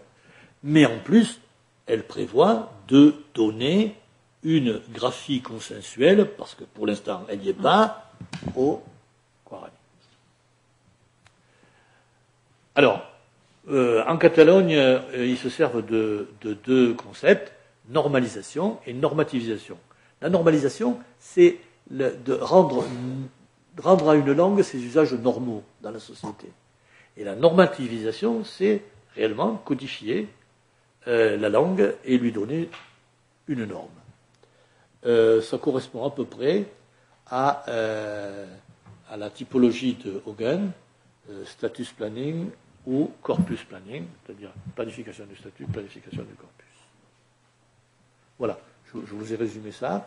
Donc effectivement, je, l'ai mis en, gris, euh, une politique linguistique est inspirée, qu'on le veuille ou non, qu'on le dise ou non, par des idéologies ou une idéologie linguistique. La politique linguistique de la France, en France et à l'étranger, est dictée par une idéologie que j'ai baptisée euh, et que d'autres ont, ont, dit à peu près la même chose sur unilinguisme. Linguisme pourquoi Parce que c'est une idéologie qui exclut euh, toute concurrence avec le français et qui exclut toute concurrence avec la norme dominante. Donc, politique linguistique, planification aménagement, et bien sûr, normativisation, normalisation. Qu'est-ce que ça veut dire normativisation? Ça veut dire codifier, standardiser. Normaliser, c'est promouvoir de nouvelles normes d'usage. C'est-à-dire où est-ce qu'on parle telle langue, où est-ce qu'on parle telle autre, et est-ce qu'on fait une différence euh, de, ce point de vue. Alors, il y a une grande diversité de dispositifs. Hein. Parfois c'est une académie, parfois c'est un ministère, parfois c'est une direction générale, parfois c'est une commission. En France, par exemple, il existe la délégation générale à la langue française et aux langues de France. C'est une structure de politique linguistique elle doit gérer euh, la, réalisation, la, mise en œuvre de la loi Toubon, qui est notre seule loi linguistique pour l'instant. Alors, je fais un petit, une petite parenthèse. Euh, ça, c'est quand même important. Normalement, le droit euh, en matière de politique linguistique que consacre deux principes. Le principe de personnalité, c'est-à-dire que, en principe, le choix de la langue euh, relève, des droits personnels de l'individu, selon Mackay, et le principe de territorialité, qui est, à mon avis, le principe le plus utilisé. Il suppose une territorialisation du plurilinguisme. Euh, ça peut être en région, canton, commune. La, Suisse est l'exemple majeur de territorialisation euh, d'autopolitique. Puisque vous avez Neuchâtel qui est francophone, vous allez à côté, c'est une zone euh, germanophone, mais la ville de Bienne, euh, elle est, c'est une ville décrétée bilingue. Et vous avez tout en, allemand et en français. Euh, donc, mais, mais, obligé, parce que le territoire, ça, n'est pas des, des, recensements, etc. Ça bouge. Hein. C'est pareil en Suède, par exemple. Bien. Donc, je vais essayer de. Je termine là-dessus c'est cet impact du nationalisme linguistique vers un nationalisme, un bilinguisme non diglossique en catalan. Alors, euh, vous, donc, pour ceux qui ne sont pas hispanistes, je pense peut-être qu'il y en a, mm-hmm. euh, je situe la Catalogne, la communauté autonome de Catalogne, hein, en Espagne. Vous savez que l'Espagne est découpée en en communauté autonome. c'est un État très décentralisé, sûrement l'un des plus régionalisés d'Europe, bien plus que l'Italie, et à mon avis, plus que l'Allemagne. Euh, chaque communauté, c'est un peu. Il y, a deux types de communautés, communautés historiques et les autres. Mais n'empêche qu'elles ont un pouvoir considérable, considérable. À part lever l'impôt, sauf le Pays Basque qui l'a depuis longtemps, et, les affaires étrangères et l'armée, bien sûr, euh, la plupart des prérogatives euh, d'un État sont confiées. Euh, la, la, subsidiarité fonctionne parfaitement. Si bien qu'effectivement, il parle d'un État fédéral, mais je veux dire, je ne sais pas qu'est-ce qu'ils vont ajouter de plus. Euh, à part réellement, euh, si, lever l'impôt. Ça, c'est ce que veulent les Catalans, je le comprends. Mais euh, c'est vraiment un État très, très décentralisé. Et moi, je dirais à, à fonctionnement fédéral, même s'il n'est pas officiellement un État fédéral. L'Allemagne, qui se dit un État fédéral, n'a pas pour ces régions le pouvoir qu'ont les communautés autonomes ou les régions. Hein. Les communautés autonomes et là, vous avez l'ère catalanophone. Vous voyez qu'elle inclut tout, le, tout, l'ouest de, la, de l'Espagne, hein, euh, presque jusqu'à pas. Ça n'arrive pas à l'Andalousie, bien sûr. Hein. Et puis les îles Baléares. Voilà. Et ils ont absorbé, bien sûr, quand ils mettent ça, vous voyez, ils absorbent le Roussillon.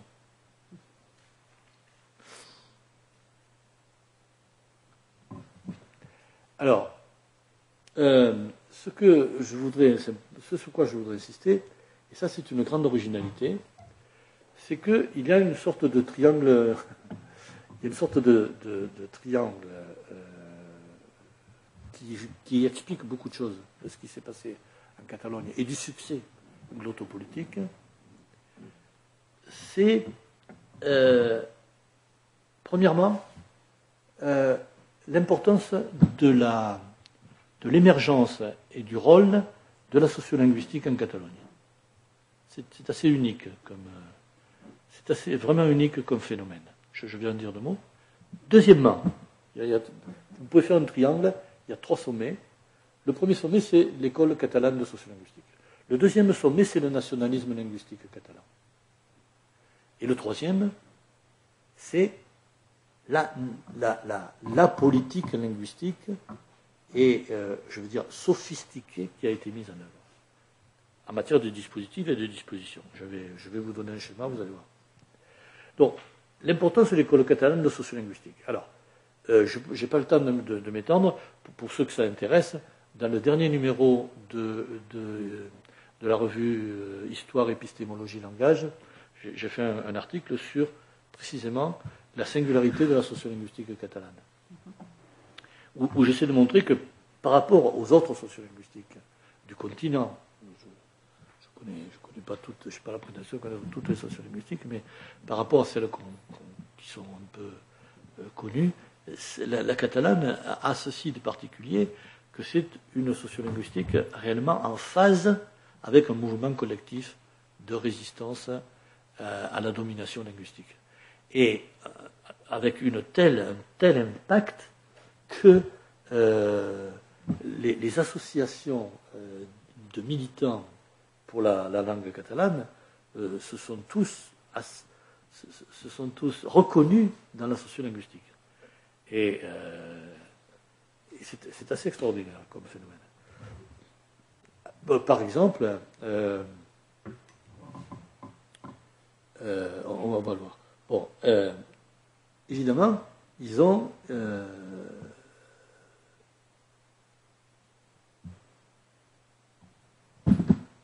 grâce à ce mouvement conjugué au nationalisme linguistique, la Constitution de 1978 euh, n'a pas été ce que voulaient vraisemblablement les héritiers du franquisme.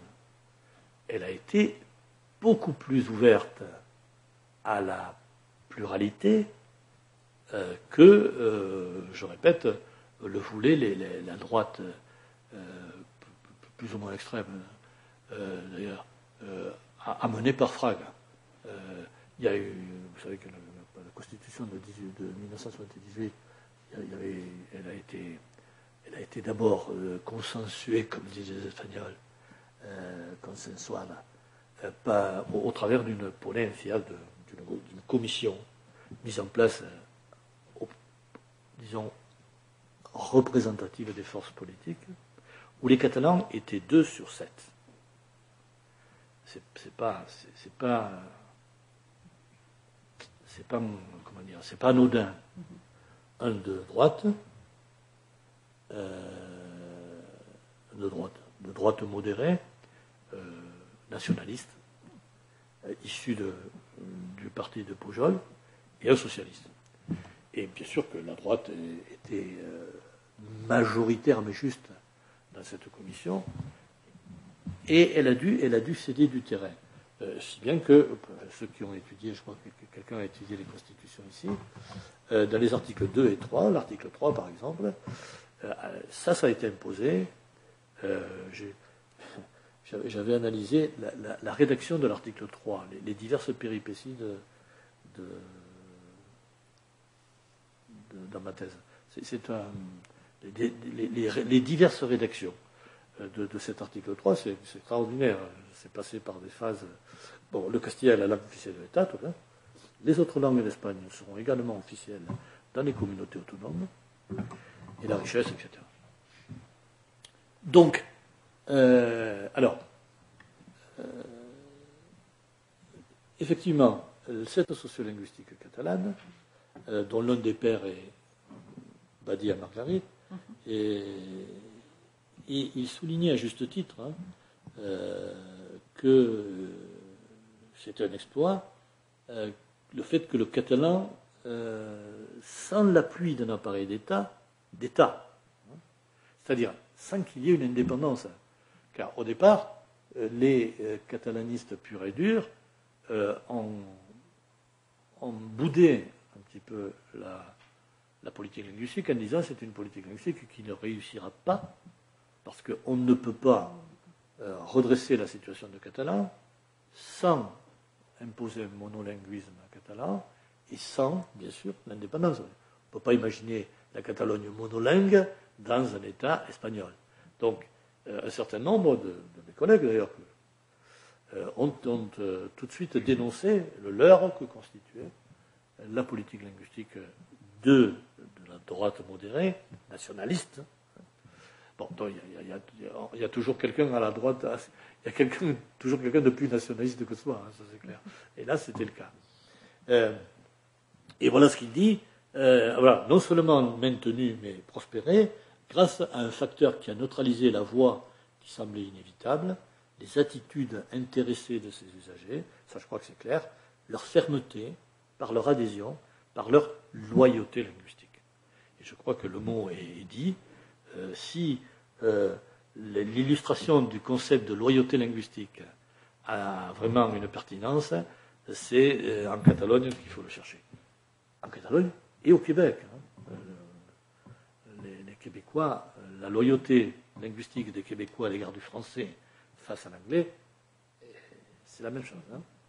presque. Bon, euh, donc, euh, euh, effectivement, la généralité, au travers de sa normalisation linguistique, hein, ça a été le mot d'ordre, mais ce mot d'ordre, il est repris des sociolinguistes. Ça veut dire que le pouvoir politique a repris les concepts que lui donnait la sociolinguistique. Hein, c'est assez remarquable. Donc, évidemment, euh, la langue propre, principe de, principe de territorialité, mais aussi respect du principe de personnalité au travers de la co-officialité.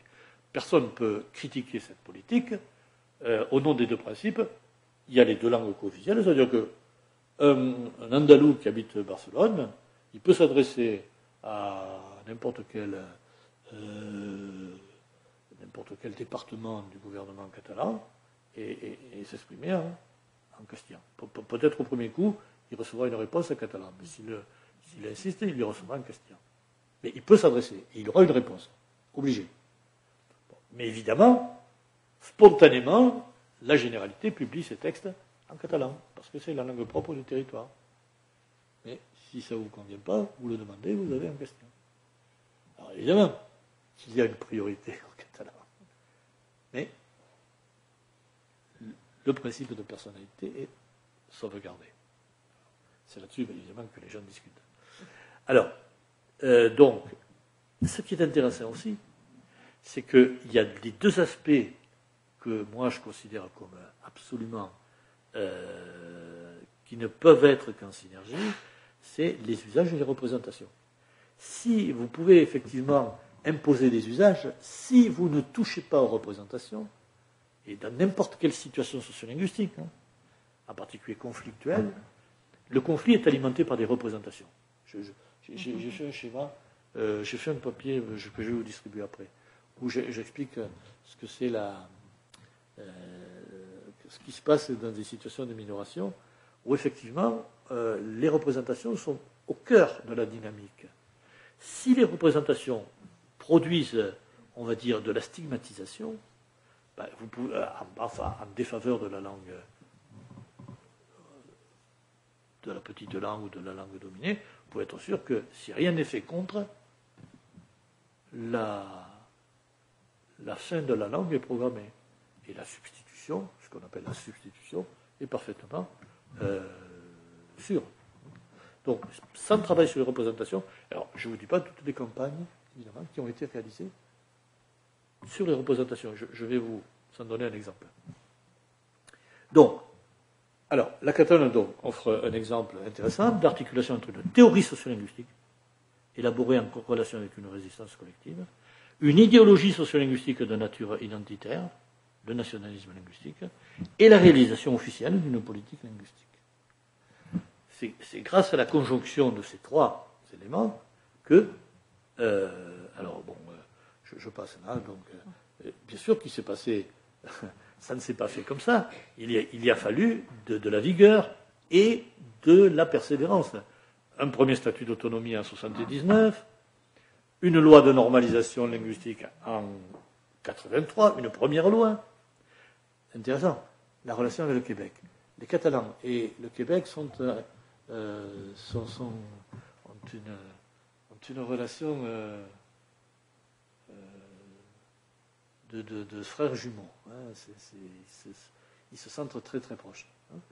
Euh, et par exemple, ils se sont inspirés de, la fameuse loi 101, qui est la loi qui a permis au Québec de reconquérir des usages pour le français qu'il avait perdus durant la première moitié du XXe siècle, à partir de précisément des années 60 et de la fameuse révolution, si vous voulez, qui, Euh, alors, bien sûr que la loi en question visait un bilinguisme non diglossique. Elle visait, hein. voilà ce qu'elle disait, la loi, en 83. Tous les enfants de Catalogne, quelle que soit leur langue habituelle en début de scolarité, doivent pouvoir utiliser normalement et correctement le catalan le castillan à la fin des études primaires. Ce que le cas. Je vais vous montrer un tableau, le. Donc, deuxième loi, etc. Deuxième loi en 98, loi de politique linguistique. Et ça, c'est intéressant. Euh, c'était une façon de passer à la vitesse supérieure, et en particulier de légitimer juridiquement une pratique qui avait été lancée par décret, c'était la politique d'immersion pédagogique. Et ça, c'est, pour ceux qui font du fleu, euh, la, pratique de l'immersion que, nous ont communiqué les Catalans, les Québécois, et, les Canadiens en général, ils pratiquent beaucoup l'immersion. C'est une pratique pédagogique qui consiste à enseigner euh, la langue, mais ne pas enseigner la langue, mais enseigner dans la langue. C'est-à-dire, euh, les Catalans, par exemple, dans la périphérie de Barcelone, dans les écoles de la périphérie, qui étaient à 90% de, issus de l'immigration, castillanophone, euh, dès euh, le primaire, tout était et tout est en catalan. Et puis après, bien sûr, arrive le, castillan, bien sûr, le castillan est partout. Il est à la famille, il est dans la rue, etc. Mais à l'école, bien sûr qu'à un moment, il arrive. Mais les premières années se font en catalan, de telle sorte que l'enfant est très tôt imprégné par le bilinguisme. Moralité, on le verra à la fin, effectivement. Alors, évidemment, tout le monde a crié au scandale. Tout le monde, non. Les adversaires de la politique linguistique ont crié au scandale parce que c'était une façon de marginaliser le castillan. ça a marginalisé rien du tout, mais ça a permis qu'effectivement, aujourd'hui, il y ait une sorte de bilinguisme précisément non diglossique. Euh, l'article 2, le, catalan est la langue propre de la Catalogne et elle la distingue en tant que peuple. Le catalan en tant que langue propre est ta, ta, ta, ta, ta. Et les langues officielles, voilà, le catalan est la langue officielle, hein, de même que le castillan. Le castillan et le catalan, en tant que langue officielle, peuvent être employés indistinctement par les citoyens, etc. Donc, vous avez vu, principe de territorialité, principe de personnalité. Alors, bon, euh, voilà, voilà, un tableau. Écoutez, euh, le tableau, c'est bon. Évidemment, c'est des, c'est des enquêtes qui ont été faites par des chercheurs, mais chercheurs, évidemment, on peut toujours euh, leur reprocher d'avoir été financés par les autorités. c'est comme en France, hein. je veux dire que l'INSEE est financé par l'État. Si, si, on suspecte l'INSEE, on peut suspecter l'INSEE, hein, mais. Voilà. Donc, euh, euh, les résultats, si vous voulez, euh, font, coïncider plusieurs, plusieurs enquêtes. Hein. Il, y a, plusieurs enquêtes concordantes. Donc, je veux dire, c'est pas, pas discutable. Mais regardez en 86, la compréhension du catalan 90, on passe à 98. 98 pour les jeunes de 15 19 ans. Bon, compréhension, c'est une chose. Parler, euh, vous voyez que parler, c'est plus compliqué. Hein. Euh, mais en 2003, par rapport à 86, regardez le, gain euh, en compétences en compétence de parole, regardez le gain, et surtout chez les jeunes, évidemment. Ces jeunes-là qui sont passés par l'immersion, évidemment. La lecture, qui est évidemment moins problématique que l'écriture, quand même. Alors, regardez la, compétence scripturale. Elle, passe de 31 à 62 pour le total de la population, en l'espace de 86 à 2003. Et bien sûr, euh, les gens, l'ensemble de la population, parmi laquelle il y a une forte proportion de gens qui n'ont pas été scolarisés, euh, on va dire, euh, sous, la, sous la démocratie. Et donc, ils n'ont pas reçu. Mais ceux qui ont été scolarisés, regardez, 94%. Donc, effectivement, c'est une politique linguistique qui, réussit, pas une politique linguistique qui, est, qui, fait du symbolique. C'est trop souvent ce qu'on reproche aux politiques linguistiques, hein, de mettre beaucoup d'argent et, de ne pas avoir beaucoup de résultats. Là, là on ne peut pas le dire. Bon. Et, bien sûr, comme on n'oublie rien, il n'y a pas que les lois linguistiques, il y a aussi les statuts d'autonomie. Ça, c'est la, dimension nationalitaire. Deuxième statut d'autonomie, en 2006, euh, plus discuté, plus débattu, qui introduit dans le préambule la Catalogne comme nation. Voilà. Euh. Alors, je vous mets, je ne peux pas le détailler, l'expliquer, mais ce serait intéressant. Regardez le maillage. Bon, je me suis amusé à dresser un tableau du dispositif en vigueur actuellement, où il est question de politique linguistique. Bien sûr, il y a un truc qui s'appelle l'Institut d'études catalan, ça c'est l'académie euh, qui, concerne tout, c'est un peu l'institut, c'est-à-dire euh, il n'y a, pas que la langue, il y, a, plein de choses. Mais surtout la langue. La section de philologie est gardienne de la norme. Vous avez un office qui est fait pour produire du néologisme, le template. Bien sûr, vous avez une direction générale de politique linguistique qui coordonne toute l'action des départements en matière de politique linguistique, avec une sous-direction de services, etc. Vous avez un réseau de centres de normalisation linguistique, pratiquement dans chaque village ou chaque ville, qui est constitué en consortium, avec des moyens importants financé par les collectivités, pas que par la généralité, par les collectivités, municipalités essentiellement. Et vous avez, pour caution de la société civile, vous avez un conseil social de la langue catalane qui regroupe l'ensemble des acteurs de la société civile, de l'administration, de la politique, de la culture, etc., qui est chargé, en relation, c'est pour ça qu'il y a des flèches partout, en relation avec le gouvernement de la généralité, euh, qui est en charge d'élaborer le plan général de normalisation interne et externe, voté pour 4 5 ans. Donc, c'est un, des dispositifs les plus sophistiqués en matière de politique linguistique que je connaisse. Alors, évidemment, ça, ça a un coût. Hein. Bon, alors je ne vais pas. Alors, évidemment, évidemment, il y a toujours un problème qui reste entre le centre et la périphérie. Euh, et ce qui est clair, c'est que l'évolution, dont je parlais au début, de l'option, euh, ou plutôt le, positionnement politique autonomiste euh, par rapport au positionnement indépendantiste a évolué, mais les Catalans ne sont pas seuls responsables de cette évolution. Je veux dire que le centre, pour des tas de raisons que les, les hispanistes expliqueraient mieux que moi, historiques, hein, on fait tout ce qu'il fallait pour mettre de l'huile sur le feu. Regardez, par exemple, bon, évidemment, euh, c'est pas, pas tout le monde, hein, c'est pas tout le centre, mais la presse madrilène, par exemple, ne, fait aucun cadeau euh, aux Catalans.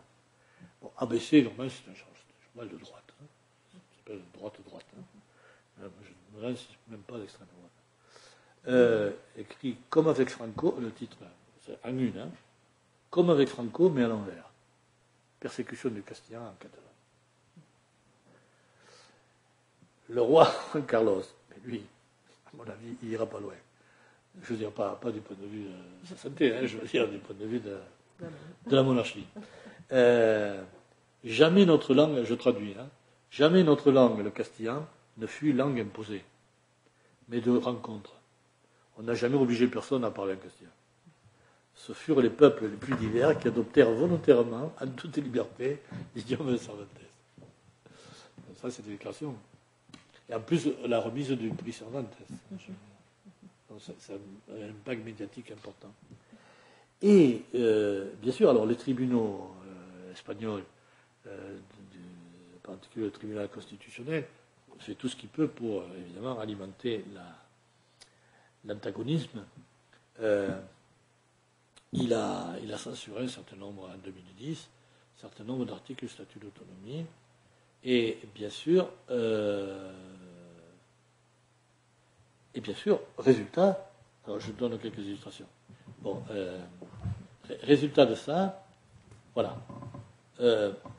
on a parlé beaucoup, on a beaucoup parlé de la manifestation du, du 11 septembre 2012 euh, vous savez, le 11 septembre, c'est le jour de, c'est le jour national de la Catalogne. Chaque, chaque autonomie, mais il n'y a pas que la, Catalogne, hein. chaque autonomie en Espagne a un hymne et une fête nationale. C'est pour, vous dire à quel point euh, ils se comportent comme de petits, de petits États-régions. Hein. Euh, mais la Catalogne, c'est le 11 septembre, c'est un jour de défaite d'ailleurs célèbre un jour de défaite. Et en général, c'est une manifestation de catalanisme. Là, cette, fois-là, il venait d'y avoir la sentence du tribunal constitutionnel qui avait censuré leur statut d'autonomie.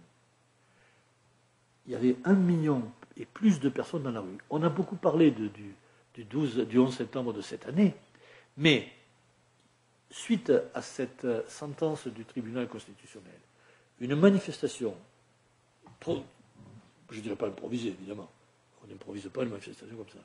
Mais euh, déclenché dans la foulée de cette sentence, en juillet 2010, a réuni plus d'un million de personnes sur le passé de Gracia. Et, et là, j'étais. Je n'étais pas la dernière, mais j'étais à celle-là, et j'ai filmé. Euh, mais bon, euh, mais moi je trouve que la, la, la une, la une du périodico, en catalan, hein, euh, Catalonia crida pro, ça suffit. Et celle de la vanguardia, c'est Catalonia sentencia. Ça, c'est un espagnol. Euh, évidemment, montre à quel point cette tension centre-périphérie. Je, vous donne un exemple de, de, campagne. Ça, c'est une des premières campagnes de sensibilisation euh, qui, ont euh, qui ont été lancées au début des années 80. Ça tournait autour d'un petit personnage qui s'appelle la Norma. Alors, évidemment, le, le, jeu de mots est clair. Hein. La Norma, c'est un prénom, Norma, mais c'est aussi, bien sûr, la norme. Et c'est intéressant parce que la norme, c'était pas simplement, euh, c'était la norme euh, au sens linguistique et au sens sociolinguistique. C'est-à-dire, par exemple, pourquoi dans tel restaurant la petite racontait? Alors c'était des petites bandes dessinées, elle passait à la télé, il y avait, des, clips. Euh, et la petite disait, par exemple, ah, elle était au restaurant, et elle voyait un menu, une carte où il n'y avait pas le catalan. Et alors la petite a, appelé le garçon et lui dit Mais comment Dans le restaurant chinois à côté, il y a un menu, il y a une carte en catalan, et vous ici, qui êtes un, restaurant de Catalogne, vous ne mettez pas en catalan Qu'est-ce que c'est ça la petite, c'est une redresseur de normes, si j'ose dire. Et, alors, il y avait ça, et puis, et puis aussi, comment il faut dire et comment il ne faut pas dire. Voilà. Et puis, celle que j'aime bien aussi, comme. Alors, vous voyez, c'est une campagne sur les représentations, mais aussi sur les usages. Je veux dire, il y alors, ça, ça celle-là est très intéressante aussi, elle est plus récente, elle date des années 2000. C'est, euh, tout est mestre. C'est-à-dire, c'est toi le prof. Et euh, le message euh, veut dire, vous voyez derrière le, boulanger, boulanger, je, je, je boulanger, euh, il y a euh, un Africain. Cet Africain, il représente la nouvelle immigration en Catalogne, que la politique linguistique se doit d'intégrer en catalan si elle veut que c'est un peu comme le même problème qu'à Québec. Hein. Euh, mais là, le Québec, c'est plus compliqué. Mais là, ils, essayent de faire par tous les moyens, par des cours gratuits, etc., d'intégrer. Et l'idée euh, répandue, euh, l'idée qu'ils essayent de répandre, donc de faire bouger les représentations, c'est de dire aux gens, attention, c'est vous qui êtes aptes à intégrer les immigrés. Si vous leur parlez catalan, ils s'intégreront au catalan. Si vous leur parlez espagnol, parce que pour eux, évidemment, spontanément, ils vont parler espagnol, surtout ceux qui viennent d'Amérique latine, ou ceux qui viennent des Philippines, ou ceux qui viennent. Et donc, effectivement, ce genre de. Voilà. Je crois que j'ai été trop bavard. Euh, s'il y a des questions sur le Paraguay, je, mais je crois que là, il faut que je m'arrête, sinon il n'y aura pas de discussion. Voilà. Je vous remercie. Ben, merci beaucoup. Euh, évidemment, euh, on aurait bien aimé aussi avoir un petit peu du Paraguay, donc je vous signale donc ton ouvrage hein, donc, ah sur, sur, le bilinguisme au Paraguay. Éventuellement, je ferai circuler ceux qui sont intéressés les, références, mais enfin, j'avais mis ça en circulation. Y a-t-il des, questions? On a touché à beaucoup, beaucoup de choses. Hein. Oui, j'espère. J'aurais énormément de questions sur Je suis ni islamiste ni linguiste, mais je trouve que. On a notre qui. Tout ce que vous avez dit. notre lander. Euh, au centre de tout ce qui nous intéresse en je voudrais sortir mon passeport. Et dans mon passeport, qui est un passeport britannique, il y a, je ne sais pas s'il y a le passeport sur le passeport français ou espagnol, il y a euh, Royaume-Uni, Grande-Bretagne, Irlande du Nord, et en dessous, vous avez deux autres langues. C'est le passeport hein, britannique. Passeport britannique. britannique. Et donc, euh, euh, je ne comprends pas ces langues, mais là, je suppose que c'est le gaélique, hein, parce qu'il y a Iran, et l'autre, c'est peut-être de l'écossais. Ah, c'est sûr, c'est ou l'écossais, c'est l'écossais le gallois. Et le gallois. Ah oui, sûrement. Et donc, euh, euh, ça nous montre le lien entre le politique ou la politique et les langues. Mhm. Et ça fait référence, bien sûr, au référendum qui va avoir lieu l'an prochain. Et je pense qu'il y a plus de présence galloise, de la langue galloise au Pays de Galles qu'en Écosse, qui pourtant a euh, une volonté d'autonomie politique plus grande qu'au Pays de Galles. D'accord. Mais je trouve c'est intéressant. Oui. Oui, oui, oui. oui. d'un pays qui a une langue hyper centrale. Tout à fait, tout à fait. Euh, euh, Ça, ça- ça prouve, mais non, ça prouve la différence hein, d'idéologie linguistique des deux États, l'État français et, et- et même l'État espagnol. L'État espagnol se comporte comme, comme l'État français, euh, du point de vue du jacobinisme linguistique. Quand même, il a fait des efforts dernièrement pour, serait-ce qu'avec cette, euh, cette structure presque fédérale. Mais, mais vous avez raison. Moi, je trouve que euh, ce qui se passe en Angleterre, en, Bretagne, est très très intéressant. Très intéressant. Euh, bon, je ne sais pas si, l'Écosse, mais c'est- un processus qui se fait, j'ai l'impression, sans crier au scandale.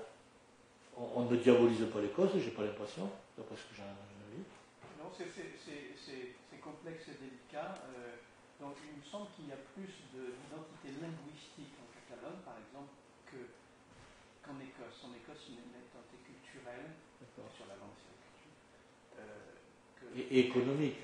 et économique. hein. Euh, Oui, mais je me suis fait dire que le gallois, malgré une politique linguistique intéressante, Oui. euh, stagnait un peu, c'est vrai? Alors, ça dépend des régions du pays. Il y a des régions où le gallois est, est- est dominant et des régions où il est minoritaire. D'accord. Donc, euh, euh, mais euh, il y a une chaîne, à ma connaissance, de, de- de télévision en gallois. Oui, oui, oui, tout à fait. À ma connaissance, il n'y a pas de chaîne de, télévision en breton en France. hein. Non, Il y a une chaîne qui s'appelle Brest TV qui passe essentiellement non, non, non. des feuilletons américains. Ouais. Oui, elle a été financée par, euh, par le lait, par, par quelques personnalités, par, par le pauvre d'Arvor. qui, qui est en Bretagne et qui Oui, oui, bien sûr. raison. Ah non, non, enfin, c'est pas possible. Non, non, ça, c'est. Et alors évidemment, quand on va en Bretagne, il y a aussi quelques panneaux en breton des villes bretagne, bretonnes. Et il y a une résurgence du, du breton dans les écoles, dans les lycées. Il semble malgré tout que euh, euh, c'est difficile à, faire- à mettre sur le même plan et à comparer avec euh, le gallois, le néerlandais. En, en Irlande, là, il y a deux langues officielles. hein, euh, la République d'Irlande. Oui, oui, oui, oui, oui. Mais alors là, tiens, cette semaine, je, vais. Une de mes doctorantes soutient sa thèse sur, sur l'irlandais à, Galway. Euh, elle, a, enquêté dans les collèges et les lycées, euh, cinq collèges et lycées de la région de. de- enfin, de, qui, est- qui est une des, des régions les plus irlandophones. Mais les représentations sont très positives, euh, parce que, etc., etc. Mais il n'empêche que la pratique de l'irlandais est non. très, très minoritaire. Alors, votre exemple sur la Catalogne me, me fait penser à la Belgique. Oui, Alors, en Belgique, il semble que c'est l'inverse qui se produit un peu. C'est-à-dire qu'en Catalogne, il y aurait donc les deux langues, mais en Belgique, dans certaines communes, si vous allez en français dans certaines communes euh, flamandes, euh, on vous répond en flamand et pouvez pas, euh, euh, disons, demander un document en français. non, non, c'est ça. Donc, c'est un État fédéral. Tout à fait. Et- et- et Donc la- c'est le- il y a un mouvement qui est plus progressiste, je dirais, Ouais, ouais. et qui est plus euh, euh, qui va dans la sens inverse euh, dans certaines communes de Flandre ou même de Wallonie. Ça m'étonnerait beaucoup que à Liège, euh, quelqu'un qui parle flamand puisse euh, avoir une réponse en flamand Ouais. à une des communes. hein. Donc, euh, c'est- et le devenir de l'Europe se, se situe là. hein Oui, la oui. relation entre le- les langues, la culture, euh, le nationalisme, le régionalisme. Tout à fait. euh, Tout à fait. Moi, je crois quand même qu'on vit la fin d'une certaine conception des États-nations. Ça, c'est clair. Je veux dire qu'ils ont atteint, ils- ont montré, à mon avis, leurs limites. Et leur incapacité à se poser des questions sur euh, comment instaurer une démocratie un peu plus participative. Mais euh, ce que vous me dites sur la femme, c'est intéressant. Euh, quand il y a eu cette, euh, cette soudaine éruption de, nationalisme indépendantiste à, Barcelone, bon, il, se trouve que j'ai reçu quelques coups de fil de, de médias parce qu'ils se sont aperçus que j'étais. On n'est pas nombreux à travailler sur Et, donc, ils avaient repéré, et en particulier le, responsable du, site euh, internet de la radio-télévision belge, euh, qui, m'a demandé de faire une, libre opinion euh, pour leur, Il me disait Vous pensez bien, nous, ça nous intéresse parce que a le problème de la Flandre et on voudrait bien savoir si. alors, je, je m'étais un peu documenté. C'est pas le même problème. C'est clair. C'est clair. C'est, pas le même problème. Alors, à la limite, je sais pas, moi, l'image que j'ai de la, Belgique aujourd'hui, c'est vraiment d'une juxtaposition. De, je veux dire, très franchement, euh, moi je pense que le problème s'est aggravé. Les, Catalans ont deux, ont deux passions leur langue et l'argent. On n'a absolument pas abordé le problème économique. Non, euh, bien sûr. on ne peut, pas, peut pas ne pas l'aborder. Moi, j'ai parlé de, ce qui m'intéressait comme sociolinguiste, mais il y a un ingrédient important, euh, c'est la fiscalité. Alors, les, Catalans, à tort ou à raison, considèrent qu'ils donnent un cinquième de, à l'État et que l'État leur refile euh, un dixième. Bah, pour être schématique. Hein un truc comme ça. C'est-à-dire qu'en fait, ils contribuent pour au moins un cinquième du produit intérieur brut. Or, le système de solidarité régionale, c'est qu'ils reçoivent au prorata de, des habitants. Enfin, je sais pas, le, système de répartition normal, et pas du tout euh, en fonction de l'enrichissement qu'ils donnent à, Or, incontestablement, c'est une des régions les plus dynamiques d'Espagne. C'est pas la peine de. Tous les, tous les, tous les indicateurs le montrent, c'est pas pas être raciste que de dire ça. Donc ce qu'il voudrait, c'est un pacte, fiscal. Et en fait, ce qu'il voudrait, c'est exactement le système qu'ont les, les Basques. Et je pense que, sincèrement, c'est ça qui a envenimé, dans la dernière période, la question. C'est que, évidemment, comme l'État espagnol, qui est évidemment pris à la gorge par l'Europe, par la crise, euh, a, réparti la, misère, Catalans se trouvent plus misérables. Pourquoi? Parce qu'ils avaient des ambitions qu'ils ne peuvent absolument pas concrétiser à cause précisément de ça. Et donc ce qu'ils demandent, c'est de gérer eux-mêmes leur impôt. Ils sont d'accord pour une solidarité, mais pas celle qu'on leur impose. voilà. Et à partir de là, je pense que sur le terreau nationaliste, mais dont, je vous dis, quand, quand Pujol a fait cette conférence en 1995, il était on l'a interviewé pour une revue dont je m'occupais à l'époque, qui s'appelle Amiras. On l'avait interviewé. Et euh, il avait dit Je suis nationaliste, mais je ne suis pas indépendantiste. Je pense qu'on peut très bien euh, être une nation catalane au sein de l'État espagnol. Si aujourd'hui les, gens qui sont ces, enfants euh, au pouvoir sont sur ces positions, c'est parce que, en plus, en plus, c'est fait le problème économique, c'est clair. Le, le stéréotype, les antiques, les anti-catalans disent que les catalans, ils, ils, comptent même en dansant. Parce qu'ils dansent ensemble. Je pense que, vous êtes un peu connaisseur, enfin, je, je suis allé à Barcelone, que je trouve extraordinaire, hein, mais je ne suis pas spécialiste. Je trouve que le modèle, est, le il y a un modèle espagnol de l'organisation de l'État. Et ce modèle va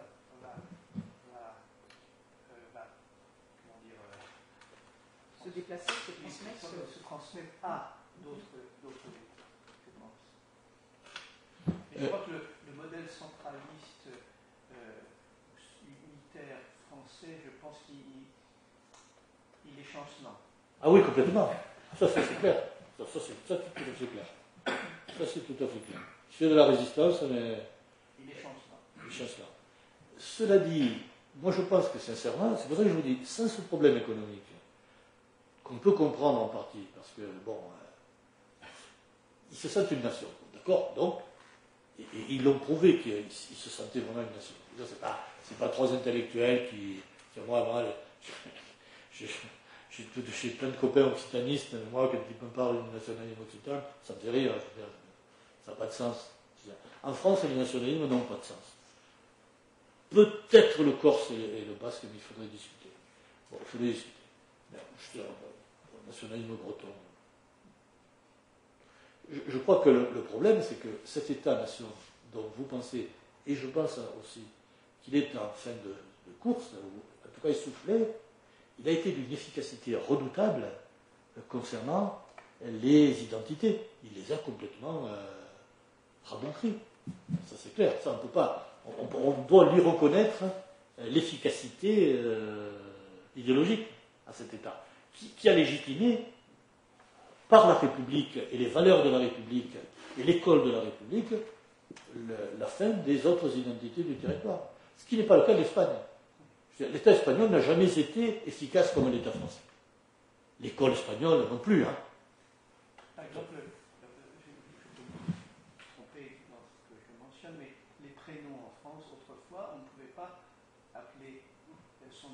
je les un ou corse ou comme ça. Maintenant, c'est autorisé, je pense. Hein. Je pense que c'est autorisé, oui.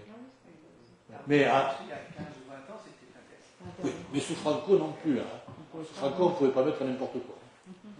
Même, euh, vous savez, après, la, après, la, le retour à la démocratie, euh, il y a eu, précisément dans les lois de normalisation, il y a eu plein de chapitres sur la toponymie et les, patronymes. Effectivement, il y a des gens qui ont récupéré leur euh, graphie. je dis copains, je, je reconnais des dis mais comment Et non, non, ça avait changé. Il y a eu des décrets pour changer. Les toponymes, oui, ça c'est clair. Hein. C'est la première chose. De toute façon, c'est la première chose à laquelle ils ont touché. Ils ont, revu tous leurs toponymes. Gérone, ça s'appelle Gironne. Mm-hmm. euh, au Pays Basque, ça pose problème, parce que Saint-Sébastien qui s'appelle Donostia. Mm-hmm. Ils l'ont mis en bilingue alors. Questions oui, Moi, je m'interroge sur euh, le rôle de la publicité dans la réappropriation d'une langue. Parce qu'il m'arrive euh, de fréquenter euh, la région de Stuttgart, qui est donc une capitale du Jura et, je remarque qu'à Stuttgart, par exemple, la plupart des publicités, même dans, les même dans la presse, dans, dans l'affichage public, sont en swab. Et c'est quelque chose de très nouveau, visiblement. Alors, moi, je pense aussi, euh, comme vous, qu'il y a une remontée des identités peine d'être un grand ethnologue pour le voir. Bon, euh, la question c'est quelle est. Euh, la question c'est que la plupart du temps c'est du symbolique. en tout cas, mais c'est du symbolique qui marche. Moi je pense que quand dans la pub on utilise un ingrédient comme la langue, ou même telle façon de parler, c'est pas anodin, je veux dire. La publicité en général ne joue pas n'importe quoi comme partition. Elle joue la partition pragmatique.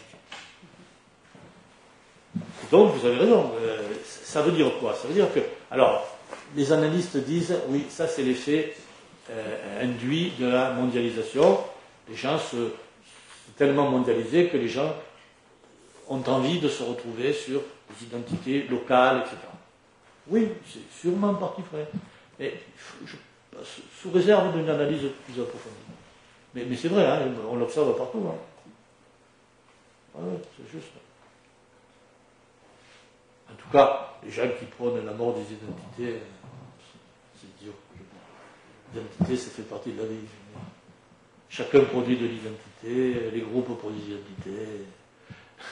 Et comme je dis, j'essaye de le dire dans le, bouquin Langue et Nation, je dis, il y, a une tension euh, dans tous les, toutes les communautés, tous les groupes, entre homogénéité, unité hétérogénéité, euh, identité, je veux dire, c'est une tension, et puis c'est un curseur qui se promène, tantôt euh, on produit de, l'identité, tantôt, effectivement, on, accepte, et même on produit de l'hétérogénéité, parce que prenez une langue, laissez-la toute seule à vivre, elle va se diversifier. Mais par contre, à un moment, si elle est attaquée, c'est d'avoir le réflexe de la défendre et de, cadrer l'hétérogénéité. Il y a un petit incident quelques années ici dans notre université, lors d'un colloque international, où il y avait notamment une personne euh, espagnole euh, qui a dit Bon, je, vais parler en anglais.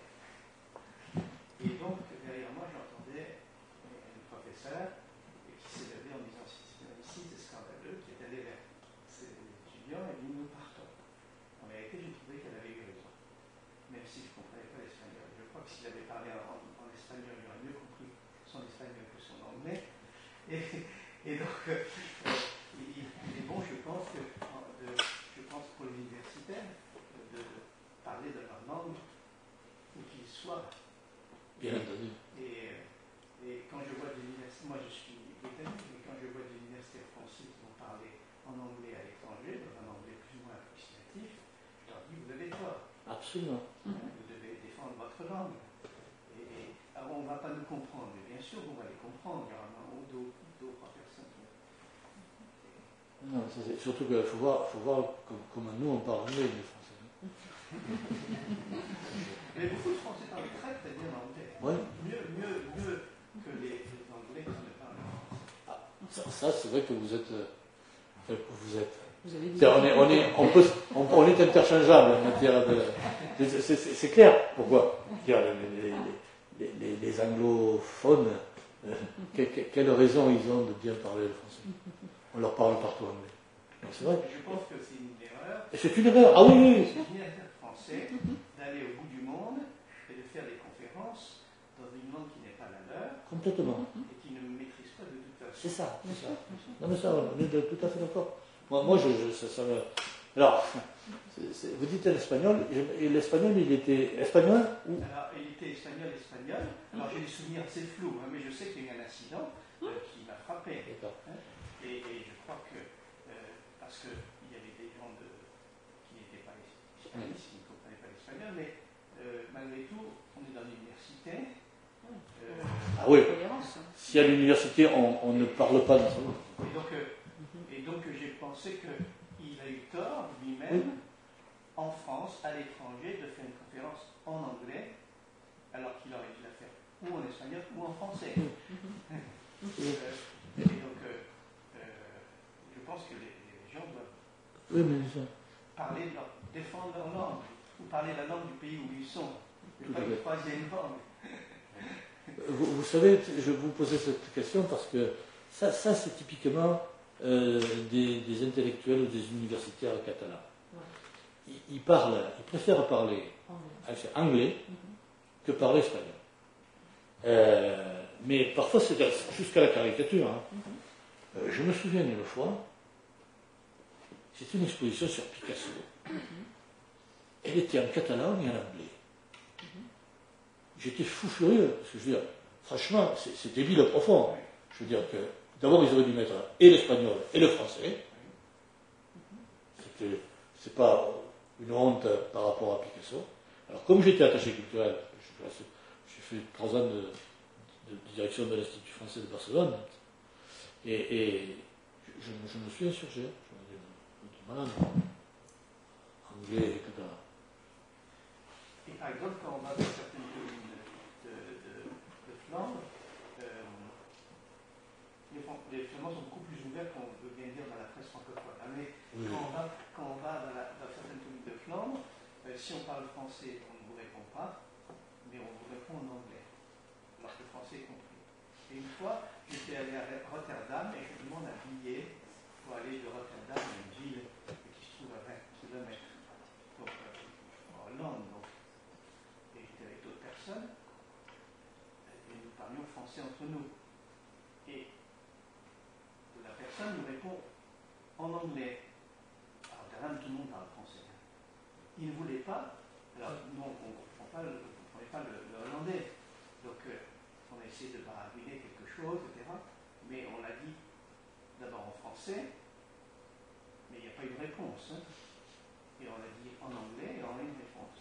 Je crois que euh, c'était euh, une, volonté de non, répondre en français. non, mais c'est clair. C'est vrai qu'il y a des comportements qui, qui sont. c'est minoritaire. Oui, c'est minoritaire. C'est minoritaire, mais par exemple, l'histoire de l'anglais et du catalan, en Catalogne, les les universitaires, et surtout catalanistes, sont euh, insupportables là-dessus. Hein. Le dernier colloque qu'on a fait, euh, on a fait un colloque en septembre, ici, euh, franco-espagnol, sur le langage manipulateur. Et on avait donc toute une équipe qui venait de, de la Polytechnique de, de Valencia, de Valence, qui est venue, ils ont fait leur conférence en anglais. Mais ça, c'est pas normal. c'est peut-être normal, mais ce n'est pas bien. Ils sont en France ou on le fait en français Et l'article, l'article, la communication a été envoyé en anglais. Alors, l'université française, on doit parler en français ou en espagnol.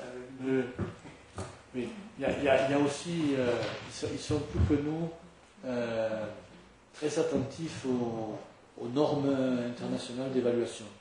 Non, non, euh, je veux dire que nous, par exemple, on, nous dit qu'il faut publier en anglais. Si on ne publie pas en anglais, tant pis. Je veux dire. Euh, mais eux, par exemple, il faut, il faut, il faut qu'ils publient dans une langue étrangère. Je peux, je vous dire les, propositions que je, je reçois pour, euh, pour, l'Armatan, je veux dire, c'est, publier chez l'Armatan, pour eux, c'est, Je veux dire, dans leur dossier de, universitaire, ça compte double, triple, je ne sais pas. Je, je, je, je, peux comprendre, mais disons que quand on vient parler de l'université française, où on parle en français, où on parle dans la langue. Euh, langue on ne va pas parler en. Non, non, non. Sauf si c'est un, un, département, euh, bien sûr. Non, non, je suis complètement d'accord. Hein. Enfin, je me suis un peu de votre là-dessus. je, je, je, vous demandais euh, pour, le, pour le cas du, du Valencien, justement. Vous avez parlé de la Catalogne et du catalan. Et bon, les Valenciens, linguistiquement parlant, je crois que c'est un dialecte du catalan. Mais donc, euh, bon, c'est un concept que, que vous n'avez pas introduit dans votre conférence, j'imagine pour ne pas compliquer les choses.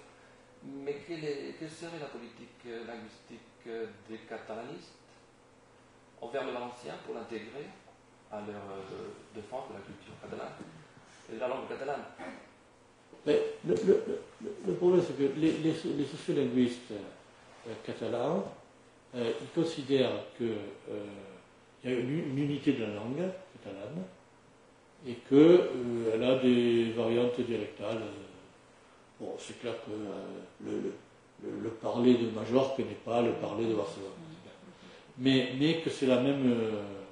et dans le pays valencien, il y a les tenants des deux positions. Il y a les valencianistes euh, qui sont pour la dénomination valenciane. Et euh, le, problème, c'est que le, catalanisme suscite des, réactions d'hostilité. Parce que parfois, le catalanisme, le pan-catalanisme est agressif. S'ils n'ont pas envie qu'on leur dise qu'ils parlent catalan, bon, c'est bête qu'ils considèrent que c'est pas du catalan, c'est du catalan.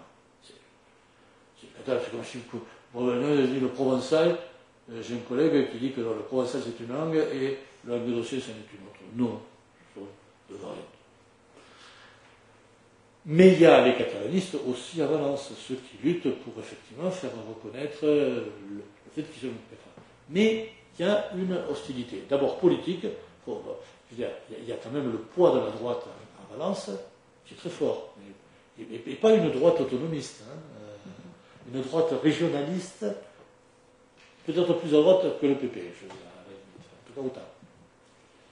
Et non, ce que souhaiterait l'utopie sociolinguiste catalaniste, c'est que euh, dire, ça n'a pas de sens, qu'il y ait une sorte de les raisonnables disent qu'il y ait des relations inter-communautés de même langue. Et ça, s'est passé entre les Baléares et euh, la Catalogne pendant un certain temps, où il y a eu, effectivement, je crois que c'était les socialistes, euh, à un moment, il y a eu une, une, un épisode socialiste, comme ça, et il y a eu plein de choses. Ils ont même produit du matériel ensemble. Parce qu'en fait, euh, c'est ça aussi euh, s'ils euh,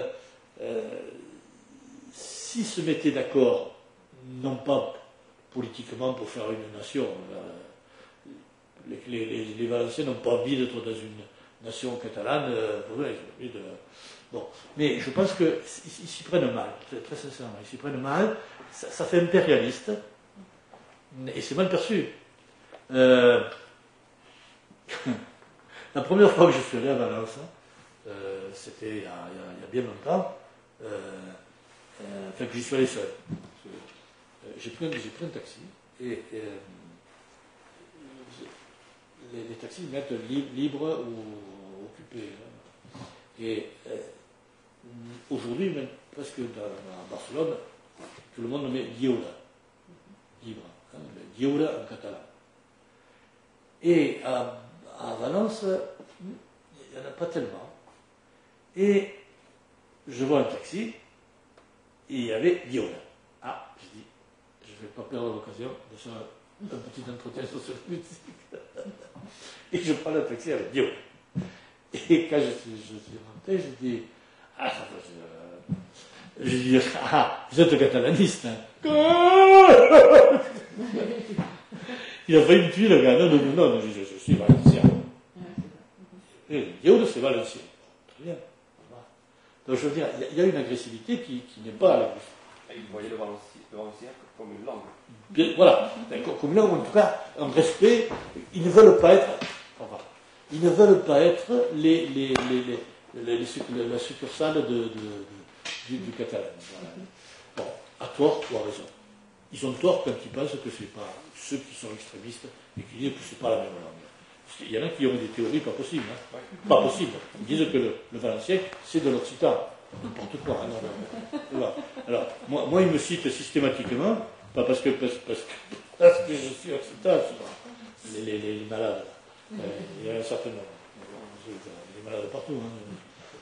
Mais quand même, il y a des raisonnables qui, qui acceptent que le dialecte valencien puisse l'appeler valencien. C'est comme le moldave, la querelle de la Moldavie. Bon, les moldaves militants veulent qu'on on on parle roumain, pas moldave. Bon, moi en matière de langue, je suis pragmatique. En matière de dénomination, je suis pragmatique. Les Corses, est-ce que- c'est de la langue corse? La langue corse, c'est de l'italien.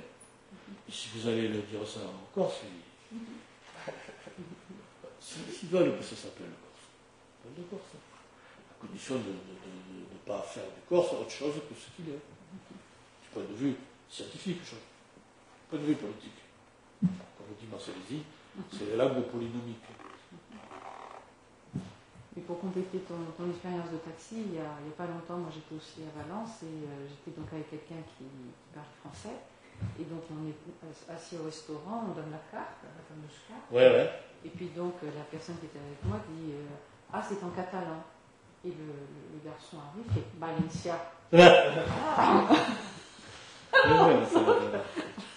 Et donc, euh, et, c'était euh, vraiment. Mais on sent bien que c'est pas, on sent bien que c'est pas sociolinguistique. Hein, c'est, c'est, autre chose. Non, autre chose. Alors, il y, a, il y a une seule question. Enfin, je pense que vous, vous vouliez parler. Non, vous, vouliez, non, vous ne vouliez pas prendre. euh, Non, non. Bon. Euh, à un moment donné, on a parlé effectivement des, des- des langues qui disparaissent et ainsi de suite. Donc, euh, tu n'as pas cité notre Agège. Ah, ah non, non, j'ai eu tort. Non, non, j'ai eu tort. Ah non, non, il, a, il, se, non, il, se, il se bat euh, halte à la mort des langues. euh. Ouais, Non, non, non, non, c'est un joli livre. hein. Et d'ailleurs, bah, j'aurais dû le citer parce que lui aussi, il a parlé de, de l'hébreu et de. Il n'a pas parlé du catalan. Il a parlé de l'hébreu et du, et du Québec. Mhm, D'accord. Non, non, c'est vrai, tout à fait, tu as raison. Euh, je- Non, non, non, non, non, puis, non il ba- il s'est battu, il se bat contre les intellectuels français qui parlent anglais. euh, oui, non, c'est très Il parle lui-même très très bien l'anglais. Hein Il parle lui-même. Ah bah, bien sûr. l'anglais. Non, bien Il sûr. a un anglais d'anglicisme. Je ne sais pas, je sais pas s'il est linguiste ou linguiste ou Je crois qu'il est, il est angliciste au départ. Non me Il semble. dit qu'il il dit qu'il manie, euh, je sais plus, une douzaine ou quinze langues. Ouais. Ce qui est possible. Hein. Il y a des gens doués pour les langues. Mhm. Ah, Il est très... Non, non, non, il se... Moi, je trouve que Halte à l'amour des langues, c'est c'est un, c'est un joli... euh, Mais d'après, en fait, je, je ne connais pas ses travaux, mais euh, comme ça, mais euh, il, il est assez dogmatique, presque euh, en opposition à la langue anglaise ou à la dominante anglaise. Ou... Oui, il est très, très francophoniste, je trouve. C'est-à-dire, il défend le tout français internationalement, etc. Bon, parce qu'il il, il- il identifie, il fait partie de ceux qui identifient l'anglais comme le principal vecteur de mondialisation. Et il pense qu'effectivement, l'anglais va manger tout, y compris le, français, quoi. Je veux dire, pas simplement les langues minoritaires, mais, les autres. Bon, il a des positions euh, parfois curieusement, parce que, comme vous dites, vous mentionnez l'Europe au début de votre propos, et euh, l'une des raisons implicites du refus de Charles de Gaulle d'admettre la candidature britannique, c'était aussi, était aussi culturelle, hein, c'était la langue. Mm. Et en vérité, dans la réalité des faits, vous disiez très bien, et vous connaissez euh, euh, ah. le sujet, que la, la langue anglaise actuellement dans l'Union européenne est presque dominante. Absolument. Mm-hmm. Non mais, bon, d'abord, je vais vous dire franchement ce que je pense de la chose. D'abord, je pense que c'est injuste parce que, globalement, nos amis britanniques sont les moins européens de toute mm-hmm. l'Europe. Et franchement, non mais vous êtes, vous êtes majoritairement, je dis. Hein. Il y a, je suis sûr qu'il y a de, grands Européens en Grande-Bretagne. Mais majoritairement, j'ai l'impression qu'ils ne sont pas tentés par ils y sont parce qu'il faut y être, sans y être, parce que être dans l'euro, etc. Voilà. Euh, mais non, ce, que je. Ce que m'a expliqué des, amis qui avaient été. qui avaient eu des responsabilités au sein des, directions générales, c'est que il y avait une règle qui existait euh, dans les commissions euh, européennes, dans les c'est que chacun parlait sa langue. une langue, chacun parlait une langue autre que la sienne. Ça, je trouve un principe admirable. Bon, j'estime que pour être euh, fonctionnaire, euh, ou en tout cas acteur de premier plan en Europe, il faut au moins maîtriser trois ou quatre langues. Si on ne maîtrise pas, c'est pas la peine d'y aller. C'est comme, le pape. bon, donc, moi je pense que le principe, et c'est une copine, ça cet exemple-là, c'est une, copine catalane qui me l'a raconté. Bon, elle, elle parle catalan, bien sûr, espagnol, français et anglais. Et elle me disait, ce que je ne comprends pas, c'est que vous avez laissé l'anglais s'imposer comme langue exclusive à l'intérieur de l'Europe, d'ailleurs de, l'ensemble de la machine euh, européenne. Par exemple, elle me dit, dans les réunions, moi, je m'oblige à parler, je ne parle pas espagnol. Je parle français, c'est pas ma langue maternelle. elle parlait couramment français, comme, elle était parfaitement bilingue. Mais elle me dit, par contre, euh, les autres, dès qu'il y avait un anglais, qui souvent, parce qu'il sait que tout le monde parle anglais, se met à parler anglais, tout le monde, c'est la convergence. Hein. Euh, évidemment, on prend, l'habitude de ne pas parler une autre langue que la sienne. S'il y a quatre nationalités, et que chacun essaye de parler une langue qui n'est pas la sienne, d'abord, ça, ça, ça, homogénise les efforts, parce que c'est vrai que c'est plus. Hein, on n'est pas dans la même position, euh, sauf les bilingues, bilingues, bilingues, toto, ça va être votre cas, ils sont rares. J'ai un copain comme ça, il était parfaitement bilingue, espagnol, français, totalement. Je ne l'ai jamais pris en défaut, mais c'est rare clair. C'est pas normal, je veux dire. Euh, je crois que c'est important qu'on fasse l'effort de parler une langue autre que la sienne dans des instances comme l'Europe, où effectivement il faut respecter toutes les langues. Et non, elle me disait, euh, moi j'ai vu, sous la présidence de l'Or, j'ai vu un changement qualitatif. C'est une, une, présence et une domination un peu par défaut, c'est pas parce que je pense parce que les autres n'ont pas parlé leur langue. Oui, complètement. Ils ont parlé notre langue, ils ont parlé plutôt l'anglais les je, non, mais je, suis d'accord, je suis complètement. Je suis, suis d'accord avec vous, non, complètement. Maintenant, attention. Comme je me suis occupé euh, sur le terrain, pas longtemps, mais quand même, cette expérience dense, réellement de politique linguistique, quand j'étais à Barcelone, à l'Institut français, euh, et que j'avais des relations avec les autres attachés culturels ou les, ou les consuls, parce que dans chaque consulat, il y a un consul qui s'occupe plutôt de la langue et de la culture. Alors, pas, tellement les Anglais, mais les Américains, je peux vous dire qu'ils sont très sensibles à la présence de l'anglais dans les manifestations. Alors, c'est très étonnant, très étonnant. Très étonnant, parce qu'il y a un centre américain euh, à Barcelone d'enseignement et de culture qui est très catalanisé, etc., qui, est bien, et qui ne donne pas l'impression d'être hmm, très. Par contre, au consulat américain, mon homologue, euh, il était partout où il pouvait ne pas y avoir de l'anglais et il a dit non, c'est très bien, je, repars. Il y a de l'anglais, c'est bon, je m'en vais. Il n'y avait pas que le français comme moi qui s'occupait de la langue. Je veux dire que, euh, comme, quoi, hein, on, croit que, on croit que certains font de la politique linguistique et les autres pas. C'est pas vrai. C'est pas vrai.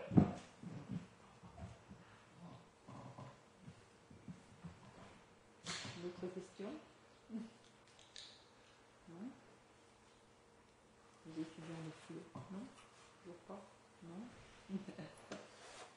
En tout cas, c'est une, une, belle vision euh, de ce que peut être effectivement euh, ce que tu nous as présenté. Euh, j'imagine que pour certains d'entre vous, c'est tout à fait une vision différente, enfin une approche du problème des langues et ainsi de suite, tout à fait intéressante et qui nous fait comprendre l'environnement politique. Exactement, institutionnel. Même dans des, des pays européennes comme mm